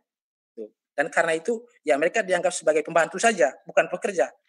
Dan konsekuensi secara hukumnya pun berbeda. Mereka dianggap di luar hukum dan karena itu ya sering kali mengalami uh, perlakuan yang uh, sewenang-wenang. Jadi bayangkan sudah mereka sudah mengalami devaluasi secara sosial dan uh, lebih dari itu adalah undang-undang ketenaga kerjaan kita tidak tidak tidak mengakui secara mereka secara eksplisit sebagai pekerja tapi sebagai pembantu. Jadi uh, bayangkan uh, pembu, uh, apa, penggunaan kata itu ternyata punya dampak uh, dampak sosial yang besar dan juga uh, terkait dengan aspek hukum. Oke. Terima kasih. Itu tanggapan saya.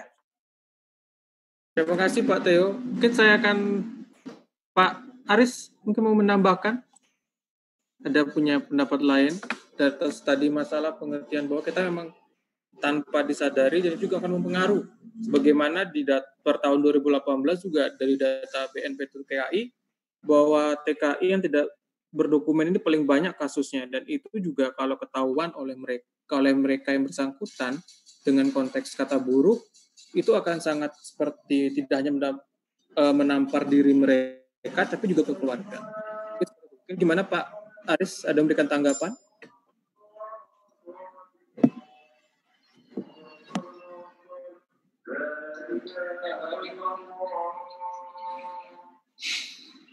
Dalam hal istilah uh, mengenai apakah itu buruh, apakah itu pekerja migran ataupun tenaga kerja migran. Kalau teman di teman-teman NGO itu ada kecenderungan untuk menggunakan kata pekerja migran ya, baik itu pekerja yang di rumah tangga, pekerja sektor industri ataupun lain-lainnya gitu ya. Jadi uh, pada prinsipnya mereka adalah tenaga kerja di situ.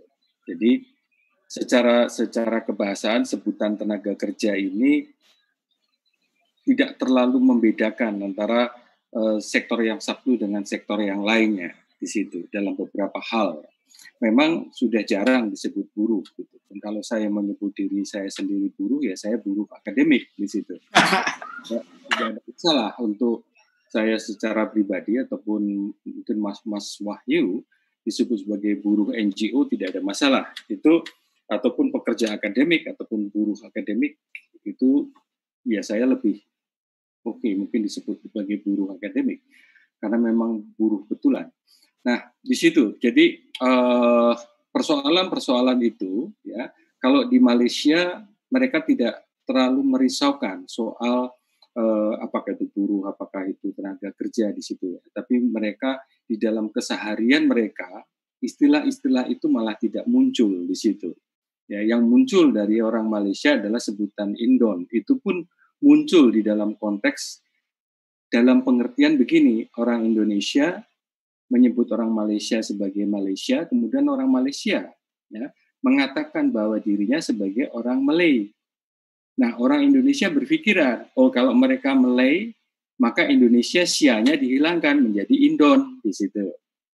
Tetapi oleh orang kita yang tidak pergi ke sana, yang tidak menjadi tenaga kerja di sana atau menjadi pekerja migran di sana, tersinggung disebut indon gitu.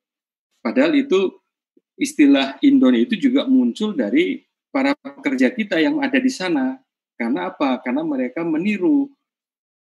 Kalau mereka menyebut dirinya Malay, ya maka kita menyebut dirinya Indon. Indonesia-nya dihilangkan, Asia-nya sama. Malaysia, Asia-nya dihilangkan menjadi Malay di situ.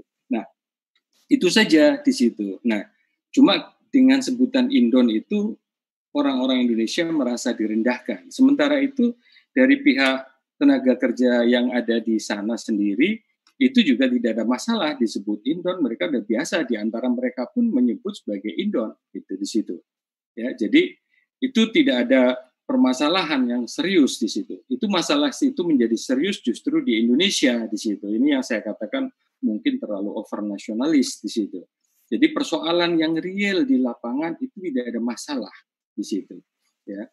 Nah dan mereka juga tidak menggunakan istilah uh, buruh ataupun TKI ataupun apa tapi mereka hanya dalam kesehariannya adalah memikirkan ya saya ini bekerja di sini sebagai pekerja gitu, sebagai tenaga kerja dan istilah buruh di Malaysia juga sudah tidak lazim digunakan seperti halnya di Indonesia sebagai bagian dari penghalusan karena kalau buruh itu nanti dikaitkan dengan kiri, komunisme dan lain sebagainya itu kemudian hilang dan kemudian menjadi uh, tenaga kerja ataupun pekerja tidak ada masalah. Nah persoalan yang lebih serius adalah misalnya kalau kita bandingkan dengan Filipina misalnya, Filipina itu pemerintahnya sangat mendukung untuk terbentuknya union atau serikat pekerja di situ ataupun serikat buruh di situ. Nah, di Malaysia itu tidak memungkinkan untuk terbentuk karena undang-undang yang ada di Malaysia, pemerintah Malaysia itu tidak memperbolehkan munculnya serikat pekerja. Di Singapura sudah mulai membuka karena ada desakan dari pemerintah Filipina untuk memperbolehkan tenaga kerjanya itu membentuk union di situ. Sehingga dengan union itu mereka bisa bersatu kemudian memunculkan satu tuntutan, tuntutan hak untuk libur setiap Sabtu dan Minggu misalnya yang dulu tidak ada. Nah, tenaga kerja di Indonesia karena tidak ada union yang kuat di, di situ di Malaysia itu kemudian mengakibatkan mereka kehilangan hak untuk libur pada hari Sabtu dan Minggu sehingga mereka bekerja penuh tujuh hari di situ. Tetapi gaji tetap sama, gaji standar di sana dengan upah minimum yang berlaku di sana di situ. Nah, Sementara di Singapura, di Hong Kong, kemudian di negara lainnya yang banyak tujuan eh, tenaga kerja kita, itu ada union yang kuat di situ. Nah, union ini menjadi penting, ya, yang harus secara struktural dinegosiasikan oleh pemerintah Indonesia kepada pemerintah Malaysia untuk memperbolehkan pembentukan union di situ. Dan Filipina yang menarik, Eh, Malaysia memperbolehkan tenaga kerja Filipina untuk membentuk union, tetapi Indonesia tidak. Jadi ada union yang relatif cukup kuat. Saya saya kurang begitu paham betul apakah itu uh, union orang Filipina itu bekerja secara diam-diam ataupun secara resmi karena secara hukum itu tidak tidak di apa tidak diakui di situ. Jadi tetapi mereka punya kekuatan, punya kemampuan negosiasi di situ. Sehingga buruh migran mereka ataupun pekerja migran mereka itu dilindungi oleh negara di situ. Ini poin yang penting saya kira. Ya. Nah, kemudian pada kelompok pekerja migran yang tidak terdokumentasi itu mereka yang paling tidak enak hidupnya di situ. Kenapa paling tidak enak? Karena mereka kehilangan seluruh haknya. Oleh karena itu mereka membangun sistem yang paralel di situ untuk membuat mereka bertahan hidup dan membangun jaringan untuk memenuhi semua hak-hak yang mereka perlukan, tetapi tidak melalui negara. Mereka memenuhi melalui jalur dirinya sendiri di situ. Ya, ini yang yang kemudian menjadi ironi dengan negara tetangga yang sangat dekat, satu rumpun di situ, tetapi persoalan ini tidak pernah selesai dan perlu diingat ada dua juta lebih tenaga kerja uh, tidak berdokumen yang ada di sana dan mereka masih bertahan di sana di situ ya. Dulu ada satu informan saya yang memang dari kecil tidak bisa berbahasa Indonesia ya. Dia hanya bisa berbahasa Jawa dan berbahasa Madura. Kemudian mereka uh, pindah ke Malaysia untuk memperoleh tenaga kerja. Di situlah mereka mulai bisa berbahasa Melayu. Sehingga mereka tidak bisa berbahasa Indonesia seperti kita, tetapi mereka berbahasa Melayu yang satu rumpun dari segi kebahasaan. Ketika mereka datang ke kedutaan besar untuk mengurus surat-surat, gitu, surat-suratnya kan hilang. Itu dia ditolak karena dianggap kamu bukan orang Indonesia dari bahasamu, karena dia juga tidak bisa menunjukkan dokumen apa pun di situ. Tapi perlu diketahui bahwa informan saya tersebut bisa bolak-balik keluar masuk ke Indonesia dengan paspor berganti-ganti nama di situ ya berkali-kali ya dengan jalur gelap melalui Batam dulu dari Batam masuk di situ. Itu pun ada jalur-jalur yang bisa ditembus sampai sekarang. Sebetapapun mereka menggunakan teknologi apa namanya retina, tetapi itu mereka ada jalur-jalur yang masih bisa ditembus dan itu bisa meloloskan orang dalam jumlah, jumlah yang cukup besar di situ. Dan itu juga menjadi persoalan di Malaysia dan juga persoalan di Indonesia karena tidak dapat teridentifikasi sebagai data dengan baik. Saya kira itu Mas Bagus. Terima kasih. Baik, kita akan langsung lanjut lagi. Tadi saya dapat info bahwa Mbak Jum, Mbak Jumiatun digantikan oleh Mbak Suryani. Ya, karena saya juga penasaran ingin dengar tentang Des Bumi ini, walaupun di di dunia maya banyak kita bisa seluncur ya, kita bisa lihat, tapi saya ingin dengar langsung. Untuk Mbak Suryani, halo Mbak Suryani.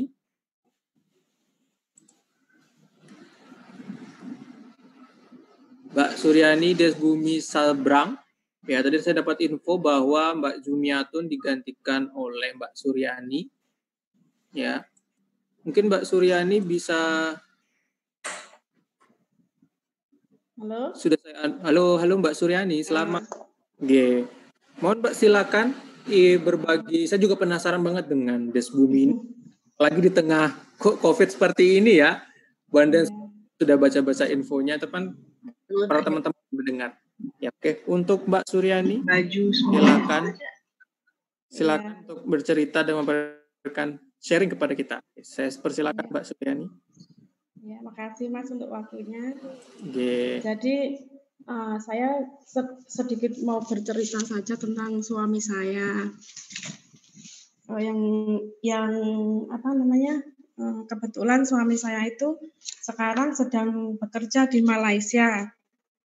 Terus dia uh, juga terkena dampak dari COVID ini, Mas.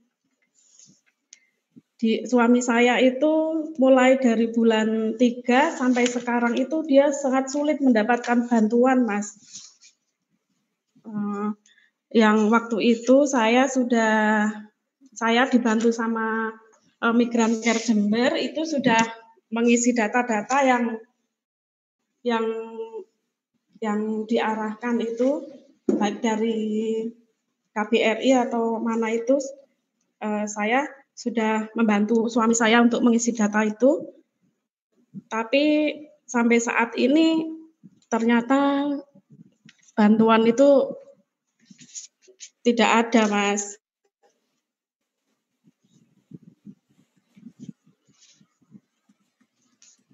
Sampai saat ini uh, suami saya pun masih masih belum bekerja, uh, tapi uh, apa? Waktu dulu itu saya saya pernah uh, sampai telepon sama Pak Alek itu untuk mencari bantuan untuk suami saya. Suami, uh, Pak Alek pun sempat uh, meng mengasih saran ke saya, kasih saran untuk uh, melaporkan atau membuat apa memberikan data-data suami saya untuk dilaporkan ke eh, Migran Care Jember terus ke Jakarta kemudian itu ke KBRI saya saya pun sudah apa sudah mengikutinya gitu. Uh, waktu itu pas uh, sehabis sehabis uh, saya mengisikan data yang dari KBRI itu suami saya pernah pernah ditelepon disuruh ambil sembako sembako. Tapi antara waktu dan jaraknya itu itu enggak apa namanya dikasih waktunya cuma sedikit sedikit sekali. Jadi enggak enggak bisa untuk mengambil bantuannya itu. Dan dan satu kongsi itu uh, kurang lebih ada 100 orang pun itu nggak pernah nggak pernah ada itu. Nggak ada bantuan sama sekali dari KBRI atau dari mana dari uh, yang pihak dari yang ada di Malaysia itu. Uh, sampai saat ini suami saya uh, karena karena lockdown itu yang jarak jarak tempuhnya 10 km itu sudah dibuka sekarang suami saya yang dulu di Kajang itu sekarang sudah uh, jadi satu uh, pulang ke rumah sewanya itu bibiknya itu di Kepung. Sekarang suami saya masih di sana. Terus waktu itu saya ada informasi untuk uh, deportasi, untuk deportasi. Uh, saya tanya sama suami saya, kalau ada deportasi uh, mau apakah suami saya mau mau pulang gitu kan? Dia suami saya sebenarnya sangat-sangat ingin pulang untuk saat ini. Tapi dari cerita suami saya itu kalau kalau mau de, ikut deportasi saat ini, uh, terus terang kan suami saya ilegal itu nggak ada dokumen. Uh, katanya disuruh cek kesehatan, kesehatan dulu, terus ada denda untuk visa yang mati, uh, terus ongkos sendiri gitu. Selama ini suami saya selama pandemi ini kan suami saya nggak pernah bekerja, otomatis kan nggak ada penghasilan, nggak ada uang. Uh, sekarang meskipun dia sangat ingin pulang, uh, kalau ada biaya seperti itu, boro-boro kok dia kok mau apa? Mau ikut pulang, uh, mau bisa bisa mengikutinya gitu. Untuk makan aja susah gitu loh. Terus sekarang saya apa ya? Saya mau tanya Pak, bagaimana cara mendapatkan bantuan kepulangan suami saya, suami saya itu uh, yang yang gratis atau tanpa ada pungutan biaya? Soalnya suami saya keadaannya untuk saat ini belum kerja dan nggak ada uang gitu. Harus ke mana saja gitu atau gimana gitu? Baik, uh. ada lagi ada lagi mau di share Suryani? Mbak, Sur, Mbak Suryani bisa cerita kegiatan di Des Bumi apa selain oh, iya. masalah suaminya? Oh iya, oh, saat ini saya uh, bersama teman-teman itu uh, uh, ada sedikit ada sedikit kegiatan saya. Ya mungkin kalau kemarin itu kita bagi-bagi uh, ibu dari ibu-ibu Desbumi itu ada yang bagi-bagi masker terus uh, yang dari ibu-ibu dari Duku Dempok Desbumi Duku Dempok itu membuat baju as hasmat ya Pak?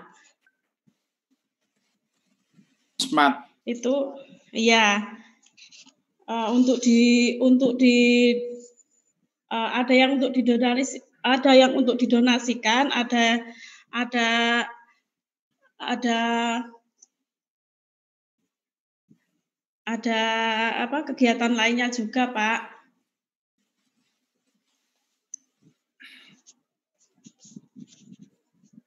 Ya, uh, Ibu untuk total aspek kira-kira sudah berapa yang sudah Ibu kerjakan bersama teman-teman di Des Bumi? Itu sangat membantu hmm. banget ya. Iya, kurang lebih apa 700 ya, Pak? Hmm. Ya. Iya. Kita pun kita pun ada uh, kalau di yang dari Des Bumi Sabrang itu ada ada penyemprotan disinfektan massal dari apa? Dari uh, untuk untuk mas untuk desa gitu.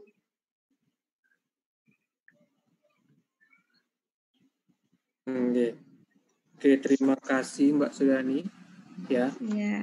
untuk sharing awalnya. Oke, saya langsung mau ke Pak Wahyu. Gimana nih Pak untuk menanggapi atas kata suami dari Mbak Suryani dari dari tadi kronologinya? Mungkin Pak Wahyu bisa menanggapi.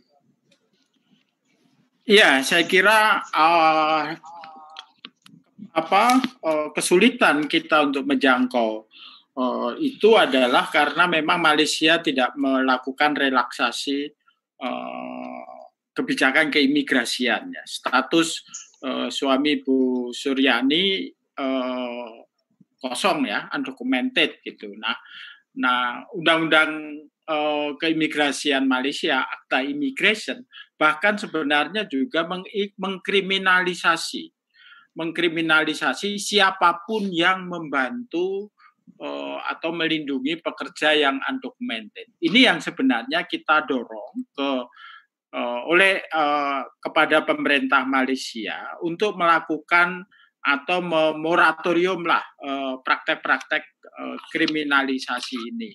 Karena ini uh, ber, ternyata kan berakibat fatal. Misalnya nggak uh, bisa terjangkau oleh uh, apa pasokan uh, bantuan logistik di mana dia berada di wilayah uh, apa uh, remote area seperti itu. Sehingga memang uh, apa yang bisa membantu uh, uh, apa suami Mbak Suryani itu adalah komunitasnya itu sendiri gitu. Kita tahu misalnya di Malaysia itu komunitas nah, seperti yang tadi dikatakan oleh Mas Aris ya bahwa tidak ada serikat di sana, tidak ada serikat buruh, tapi salah satu yang apa yang bisa menjadi uh, atau menjadi uh, apa daya uh, pertahanan mereka itu adalah komunitas-komunitas berdasarkan uh, primordialisme. Seperti yang tadi saya katakan ada paguyuban wong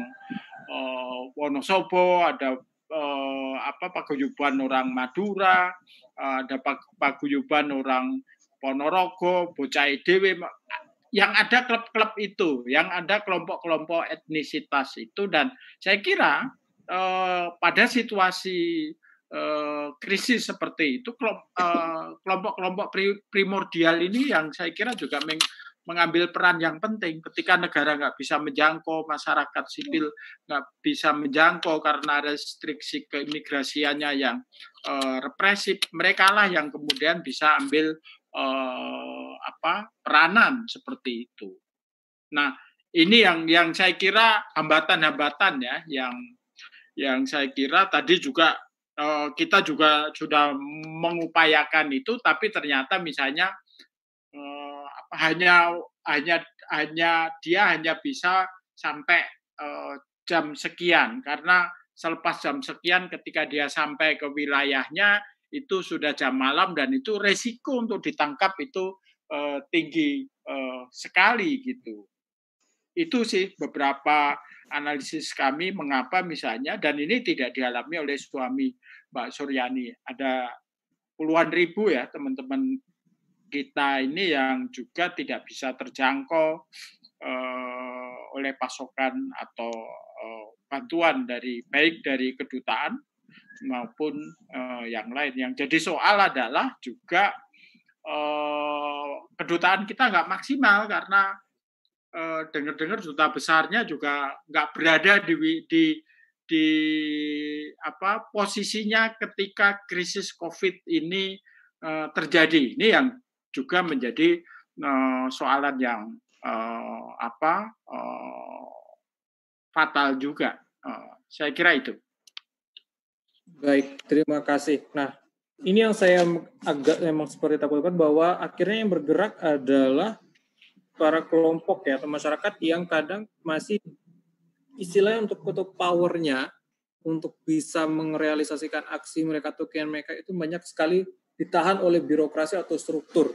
Ya. Gimana ini Pak Aris sama Pak Tio menanggapi dari apa yang sudah dipaparkan tadi oleh Mbak Suryani dan Pak Wahyu buat terutama mengingat kembali ini adalah balik lagi-lagi kita menghadapi yang undocumented ya dan itu memang masih banyak terjadi. Bagaimana kira-kira? Mungkin saya ke Pak Aris dulu.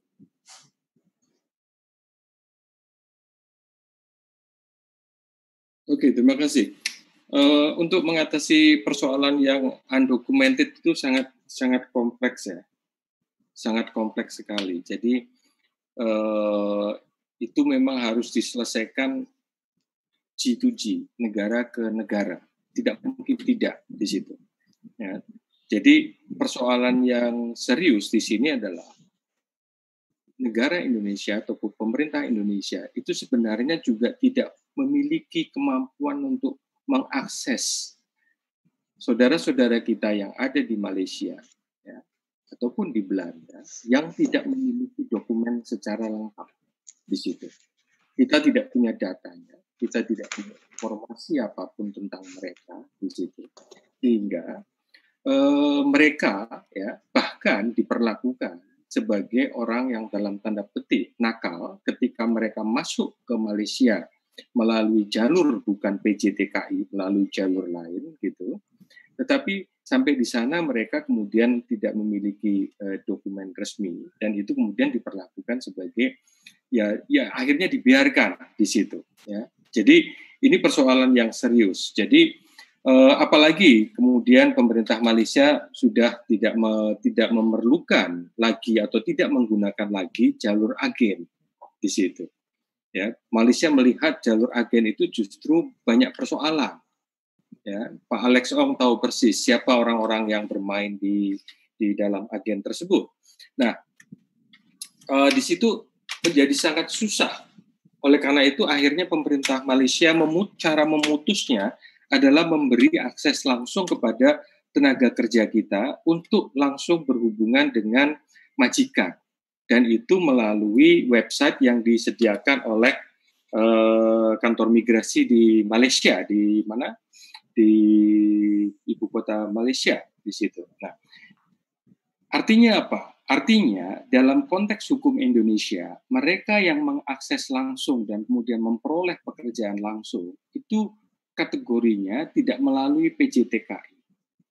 Jadi dianggap itu tidak melalui jalur yang resmi, tetapi langsung.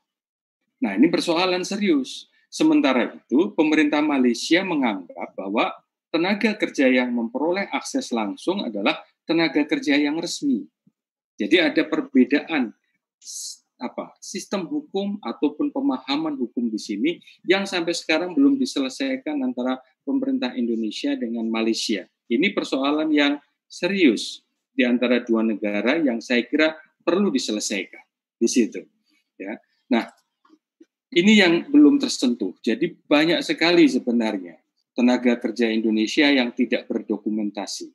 Banyak sekali, di hampir setiap tempat itu ada di situ. Ya, jumlahnya tidak sedikit, jumlahnya banyak di situ. Dan mereka tentu saja tidak memiliki hak yang disediakan oleh negara. Baik negara tempat dia bekerja maupun negara asal mereka. Bahkan sebagian besar karena sudah terlalu lama bekerja di Malaysia dan tidak berdokumentasi, pada akhirnya orang-orang Malaysia secara informal menerima mereka menjadi bagian dari kehidupan sehari-hari mereka, meskipun itu tidak secara resmi. Pemerintah Indonesia kemudian seolah-olah menjadi ya sudahlah kita kehilangan sebagian dari orang kita yang berada di sana. Itu yang terjadi di situ. Jadi ada situasi yang kemudian pada akhirnya tidak bisa diselesaikan dan justru malah menambah jumlah mereka di situ. Karena apa? Karena mereka memiliki jaringan yang cukup kuat. Apakah itu basisnya primordial, apakah itu basis-basis lain-lain, itu mereka gunakan di situ. Jadi saya kasihkan contoh misalnya. Di sana ada pemborong properti. Ya. Mereka bisa merekrut tenaga kerja Indonesia gitu dibandingkan tenaga kerja yang lain karena untuk memperoleh tenaga kerja kasar di Malaysia itu sangat susah orang Indonesia mau bekerja ataupun orang Bangladesh itu mau di situ. Tetapi selain kalau orang warga negara Malaysia mereka nggak mau. Nah orang Indonesia paling banyak di sektor properti itu. Kalau saya misalnya sebagai tenaga kerja yang tidak berdokumentasi saya punya katakanlah 10 orang teman di situ. 10 orang teman itu nanti bisa bekerja bersama saya memborong satu bangunan proyek gitu yang dipercayakan kepada saya karena saya kenal baik dengan uh, pihak pemborong properti tadi. Saya bisa menjalankan sesuai kontrak antara saya dengan pemborong properti selesai di situ. Itu terjadi. Ya, secara mereka tidak berdokumentasi Kenapa itu kemudian mereka memerlukan orang-orang yang tidak berdokumen? Karena pertama mudah bernegosiasi, posisi tenaga kerja kita pada posisi yang lemah dibandingkan dengan yang berdokumen. Kalau yang berdokumen nanti biasanya akan memberikan tuntutan yang macam-macam di situ. Nah, sementara yang tidak berdokumen itu tuntutannya lebih rendah sehingga pihak pemborong properti tadi memilih mereka pertama karena lebih murah, walaupun standar pemberian upah itu sama. Ya, tetapi benefit-benefit lain itu tidak diberikan dari pihak eh, pemborong properti yang berbeda dengan kalau saya berdokumen dan resmi. Karena itu harus dipenuhi semua di situ ya. Jadi di satu sisi ada situasi itu. Dan mereka membentuk jaringan. Saya sebagai orang Indonesia yang sudah ada di sana lama saya punya kenalan dengan properti, saya akan mempertahankan pemborong-pemborong properti itu. Jumlah orang yang harus saya pertahankan dari pihak pemborong ini tidak hanya satu, ada satu, dua, tiga, empat di banyak tempat di situ. Ya, itu hal yang mereka kerjakan di situ. Jadi oleh karena itu mereka sebenarnya secara ekonomi terlindungi oleh jaringan yang ada, tetapi tidak terlindungi oleh negara baik negara Malaysia maupun negara Indonesia. Jadi situasinya menjadi undocumented. Dalam tulisan saya, saya dulu saya sebut sebagai dengan istilah dia sebagai apa marginalized di situ. Jadi se, seperti citizen dalam beberapa hal, tetapi sebenarnya mereka termarginalkan hak-haknya. Hak politik tidak punya, hak sosial, ekonomi, dan lain sebagainya yang harus diberikan pada negara itu tidak mereka dapat. Mereka membangun haknya sendiri berdasarkan sistem membangun jaringan yang mereka kreasi di situ. Ini yang yang membuat akhirnya mereka terikat di dalam situasi yang berbasis jaringan tadi. Nah, di dalam situasi pandemik sekarang ini, mereka yang tidak berdokumen yang bekerja di sektor properti, semua sektor properti ini berhenti sehingga tenaga kerja yang tidak berdokumen ini, yang dulu bekerja di sektor properti ini, mau tidak mau harus balik. Tetapi untuk balik susahnya minta ampun di situ. Ya, susahnya minta ampun. Dan kita bisa menemukan banyak cerita orang-orang di properti ini yang kemudian balik secara diam-diam melalui jalur e, laut di situ, melalui setulang laut, kemudian masuk ke Batam. Ke Batam pun dia tidak berani masuk merapat ke apa ke pelabuhan, tetapi mereka berada di berhenti di tengah laut dan mereka diturunkan di tengah laut dan mereka harus ter, harus ke pinggir sendiri di situ. Itu terjadi setiap saat di situ. Nah, situasi ini negara dalam beberapa hal sejak dulu, bukan hanya sekarang, itu cenderung ada pembiaran terhadap mereka. Ya. Saya tidak tahu persis alasannya apa, tapi saya duga itu juga pemerintah mungkin dalam tanda petik jengkel. Karena apa? Karena mereka masuk ke Malaysia juga secara ilegal di situ. Bayangkan ya, ada satu tempat di Batam yang Anda bisa bikin paspor dengan nama siapa pun berganti-ganti di situ. Nah, jalur itu masih ada sampai sekarang di situ. Kalau Anda mau coba, nah, itu bisa lewat di situ. Ya.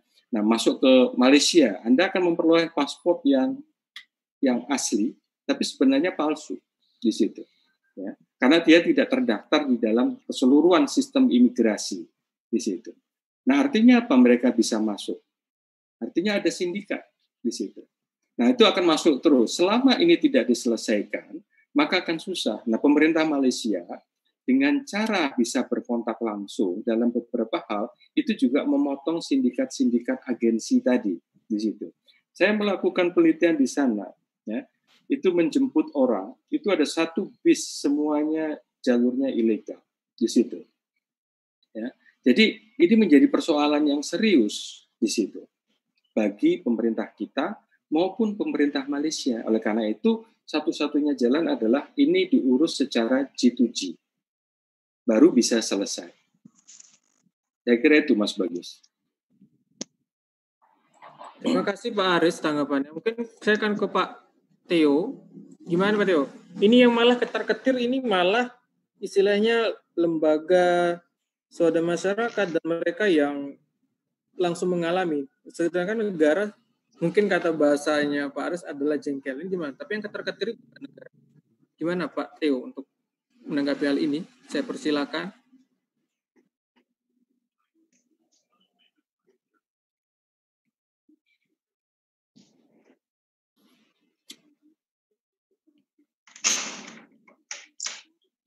Halo. Halo, ya silakan. Oke, okay, uh, eh, tadi waktu apa uh, giliran saya presentasi tadi saya sempat uh, memberikan informasi bahwa uh, para pekerja migran itu mendapatkan informasi pekerjaannya itu 60 persennya dari broker, ya 60 persen dari broker, teman itu 20 persen, tetangga 19,1 persen. Nah, lalu pemerintahnya sisanya. Nah, informasi yang didapat dari broker ini itu itu uh, lebih dipercayai oleh oleh apa oleh para pekerja migran tersebut. Nah, kenapa misalnya mereka uh, apa uh, tidak memilih untuk mendengarkan informasi dari pemerintah dan uh, apa kemudian tidak mengurus dokumen-dokumen legal yang diperlukan? Ya karena memang uh, informasi pekerjaan saya pemerintah tidak punya itu. Lalu yang kedua, uh, saya misalnya kalau kasus di Flores misalnya, saya itu banyak orang Flores yang bekerja di wilayah Kalimantan atau Kalimantan terutama bagian uh, Malaysia bagian timur ya Sarawak itu. Uh, mereka sering bercerita kepada saya uh, kami itu bukannya tidak mau ngurus dokumen uh, legal ke pemerintah tapi sering kali prosedurnya rumit. Tuh harus ngurus ini ngurus itu. Ngurus KTP saja itu berbulan-bulan. Apalagi uh, ngurus misalnya mau izin ke Malaysia nah di tengah situasi seperti itu, ketika ada pilihan broker, pilihan tawaran dari broker, yang yang mana broker itu adalah uh, sponsor, recruiter, dan juga sekaligus aparat uh, negara, misalnya, itu mereka lebih memilih itu karena bagi mereka itu jalur yang lebih mudah. Nah, ketika misalnya ada ada cerita dari temannya yang pulang dari Malaysia, uh, betapa mereka menderita karena tidak punya dokumen legal setelah ada di sana itu tidak mempan untuk mereka. Mereka akan mereka akan tetap pergi. Jadi uh, memang satu satu faktor yang saya lihat adalah rumitnya administrasi di Indonesia, birokrasi di Indonesia akhirnya memberi peluang untuk uh, para broker itu memuluskan uh, perjalanan mereka ke ke luar negeri gitu.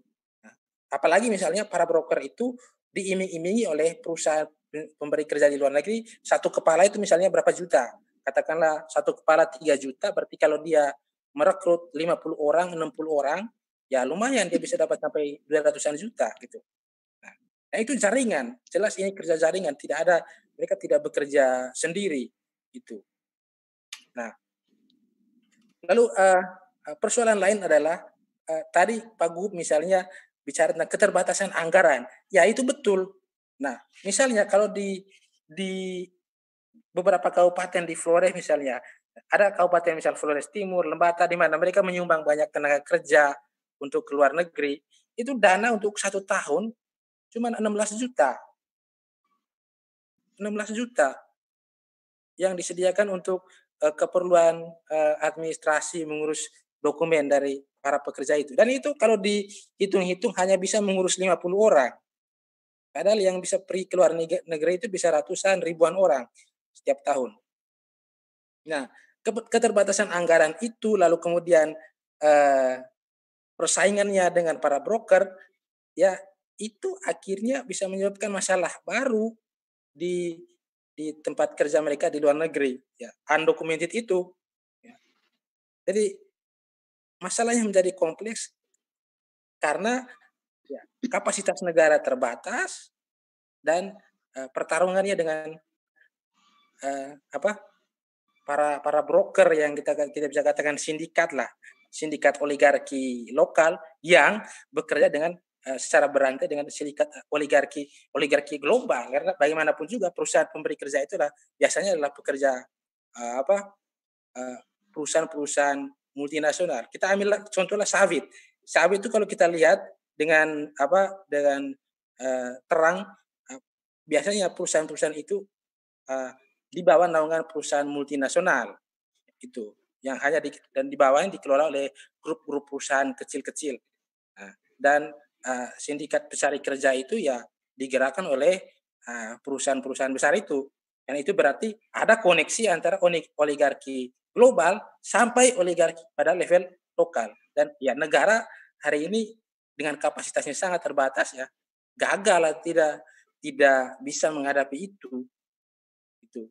Jadi konsep uh, G to G atau negara to negara dari Pak Aris tadi itu ya mengandikan bisa bahwa bisa juga dia menghadapi uh, kerja sistem kerja dari uh, perusahaan-perusahaan multinasional yang punya jaringan uh, oligarkinya sampai pada level yang sangat lokal, atau tentakel-tentakelnya gitu.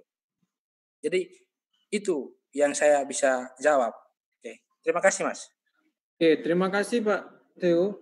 Ya, ini sebenarnya sangat menarik ya, tapi karena kita terbatasan dengan waktu, untuk finalnya saya mungkin minta final statement dari para pemateri ya. Saya ingin mulai dari Pak Wahyu Susilo ya. Gimana final statement untuk kali ini? Silakan, saya persilakan untuk Pak Wahyu. Ya,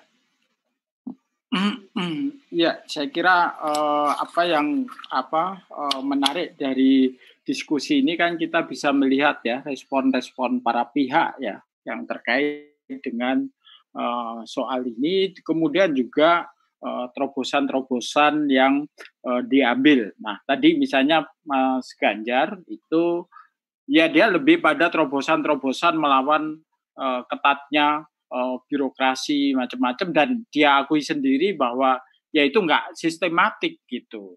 Nah, saya ingin karena tadi terakhir Pak Teo bicara soal lembata, soal apa, kita ingin apa juga uh, memberikan contoh kebijakan terobosan. Jadi kita sekarang men sudah bisa mendorong pemerintah Kabupaten Lembata itu uh, tidak lagi mendikotomi, tidak artinya juga tidak lagi mengkriminalisasi pekerja migran yang undocumented. Jadi ada Perda nomor 1 tahun 2015 tentang pelindungan uh, tenaga kerja Indonesia di luar negeri itu kategori sekarang di apa itu dua kontraktual dan eh, apa kultural seperti itu dan ada mandat bahwa harus ada rumah perlindungan di Nunukan. Jadi saya kira eh, kalau kita punya kreativitas untuk melakukan terobosan dan tidak terpaku pada apa tidak terpaku pada birokrasi yang sangat ketat, saya kira ini juga bisa menolong. Gitu. Kalau dulu misalnya implikasi dari perda ini adalah ada pencatatan untuk mereka yang sekarang berangkat melalui jalur kultural. Jadi sekarang disebut jalur kultural. Kalau dulu ilegal itu namanya kriminalisasi, tapi kalau kita menamakan diri mereka sekarang kultural itu kita melakukan dekriminalisasi sekaligus kita melakukan rekognisi terhadap uh, mereka. Jadi sebenarnya juga tergantung kreativitas yang yang ada pada kita. Kita juga tidak terus mengeluh birokrasi begini, birokrasi gini, tapi ketika ada ruang, karena ruang yang kita pakai adalah Indonesia telah meratifikasi Konvensi Perlindungan Pekerja Migran tahun 2012 di mana kita tidak bisa melakukan kriminalisasi terhadap uh, pekerja migran. Jadi itu satu contoh bahwa kita tidak hanya terpaku pada uh, apa pada birokrasi, kita berkeluh kesah tentang birokrasi, tapi kita juga harus melakukan uh, kreativitas dan itu juga tentu dari input-input uh, mereka yang ada di lapangan dari input-input para pekerja migran uh, yang ada dari pengalaman-pengalaman nyata dari mereka. Saya kira itu yang bisa saya sampaikan. Oke, terima kasih Pak Wahyu. Sekarang saya ingin ke mendengar kita final statement dari Pak Aris. Saya persilakan Pak Aris. Oke, terima kasih. Jadi uh, saya menyambung dari Mas Wahyu. Selain terobosan-terobosan Eh, secara struktural itu juga penting untuk melakukan terobosan yang tadi sudah juga disinggung yaitu revitalisasi desa. Nah, kenapa revitalisasi desa itu menjadi penting? Karena hampir sebagian dari sumber tenaga kerja kita yang pergi ke luar negeri ya, atau pekerja migran itu itu berasal dari desa sebagian besar.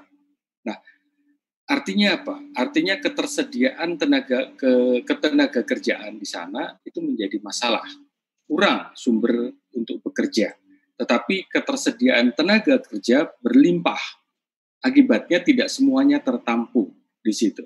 Nah, oleh karena itu, dengan model yang sudah dikembangkan Des Bumi, ya, yang tadi Mbak Suryani sudah bisa menceritakan, yang menampung banyak tenaga eks tenaga kerja migran, itu cukup memberikan kemampuan secara sosial dan secara ekonomi dan yang perlu di, penting untuk di, di apa di garis bawahi adalah pekerja migran Indonesia itu memiliki modal sosial yang sangat kuat tadi yang disebut oleh Mas Wahyu sebagai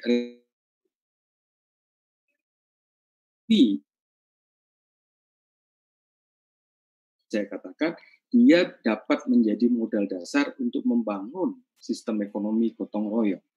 Tetapi dia tidak bisa bekerja sendiri. Tentu saja harus diintegrasikan dengan sektor-sektor besar yang lainnya, baik itu swasta maupun itu negara seperti BUMN, BUMD, dan juga BUMDes.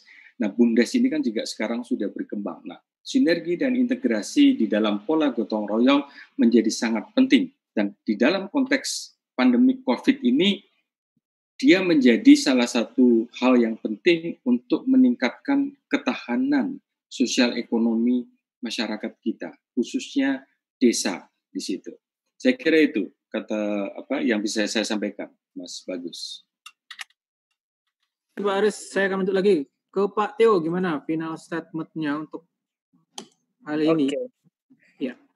Oke, Mas. Uh, uh, saya sendiri uh, melihat bahwa saya sepakat dengan uh, pembicara yang lain tadi Pak Aris sama Pak Wahyu.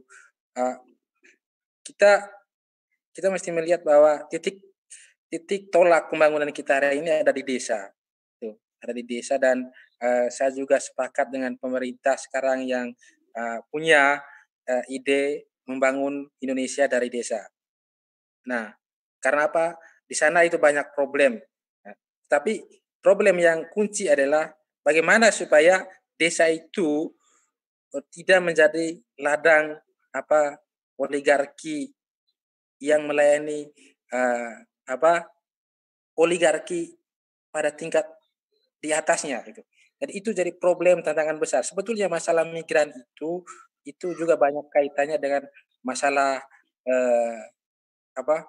Masalah agraria, masalah pembangunan desa yang macet dan lain-lain. Dan itu itu kalau kita analisis eh, kita lihat bahwa itu oligarki desa itu menjadi satu tantangan besar. Nah, pekerjaan kita adalah bagaimana uh, kita berusaha untuk uh, melawan sindikat oligarki, oligarki seperti itu. Itu tentu tentu itu pekerjaan yang berat dan uh, ya tantangan itu adalah tantangan demokrasi kita pada hari ini dan pada tingkat yang paling real. Di, uh, sehingga kita tidak hanya berpikir demokrasi bahwa tentang soal pemilihan politik semata ya, tapi soal uh, menjadi uh, apa bagaimana menjadi sungguh sebagai warga negara yang aktif terutama dalam tingkatan yang hierarki pemerintahan yang sangat lokal di desa. Jadi ya tantangannya adalah berhadapan dengan oligarki. Saya kira itu uh, terima kasih. Baik, terima kasih Pak Theo dan semua pembicara atas final statementnya. Mungkin bisa saya memberikan simpulan bahwa untuk acara kita hari ini sebelum kita mengakhiri, bagaimanapun kerja di tanah sendiri yang ternyaman, surga yang nyata, dekat dengan segalanya, dan penenang segalanya. Nyatanya, hidup ini sering tak memberi pilihan, tumpah darah menyertai mimpi dengan jauh merantau demi masa depan, menyambung nafas demi terkasih, dengan segala keterbatasan, mengambil resiko, berani keluar dari rutinitas, dari kenikmatan, menikmati hidup dengan otentisitas, berani muncul melawan arus, mereka bukanlah warga kelas 2, bukan juga budak untuk disiksa dengan beragam cara, terlebih dengan kondisi pandemi saat ini. Mari refleksi bersama. Indonesia tidaklah tersusun dari batas peta, tapi gerak dan peran besar rakyatnya, termasuk mereka para pahlawan devisa. Jangan sampai ada suara di mana negaraku. Baik, saya bagus Gus Ardiansa selaku tuan rumah Ngelara Sosiologi 4 hari ini mengucapkan banyak-banyak terima kasih kepada para pembicara dan juga peserta yang sudah meluangkan waktu dan uh, dan juga memberikan sharing yang bertanya ya atau saya simpulkan memberikan partisipasi untuk acara hari ini. Ya, sebelum kita mengakhiri, mari saya mempersilakan untuk mengaktifkan videonya karena ada sesi foto terakhir ya foto virtual kita juga menggunakan istilahnya new normal versi foto bersama ya. Jadi saya mempersilahkan untuk partisipan ya mungkin panitia yang bertugas ya kalau yang nyata ya panitianya yang bertugas untuk bisa mempersiapkan diri foto ya. Oke, saya akan berikan aba-aba. Semua sudah menyala ya. Baik. Semuanya bersiap. Silakan untuk panitia untuk foto semuanya senyum ya. Satu, dua, tiga. Ya, sekali lagi. Satu, dua, tiga. Siap. Oke, sekali lagi saya selaku tua, saya Bagus Ardiansa selaku tuan rumah Ngelaras Sosiologi 4 mengucapkan banyak-banyak terima kasih atas semua pihak yang terlibat dan sehat semoga selalu sehat saudara kita yang di luar sana yang masih di luar sana yang masih berupaya untuk bisa kembali lagi bertemu dengan keluarga dan berjuang di luar sana. Terima kasih saya ucapkan semuanya sehat-sehat. Silakan melanjutkan aktivitas dan selamat sore.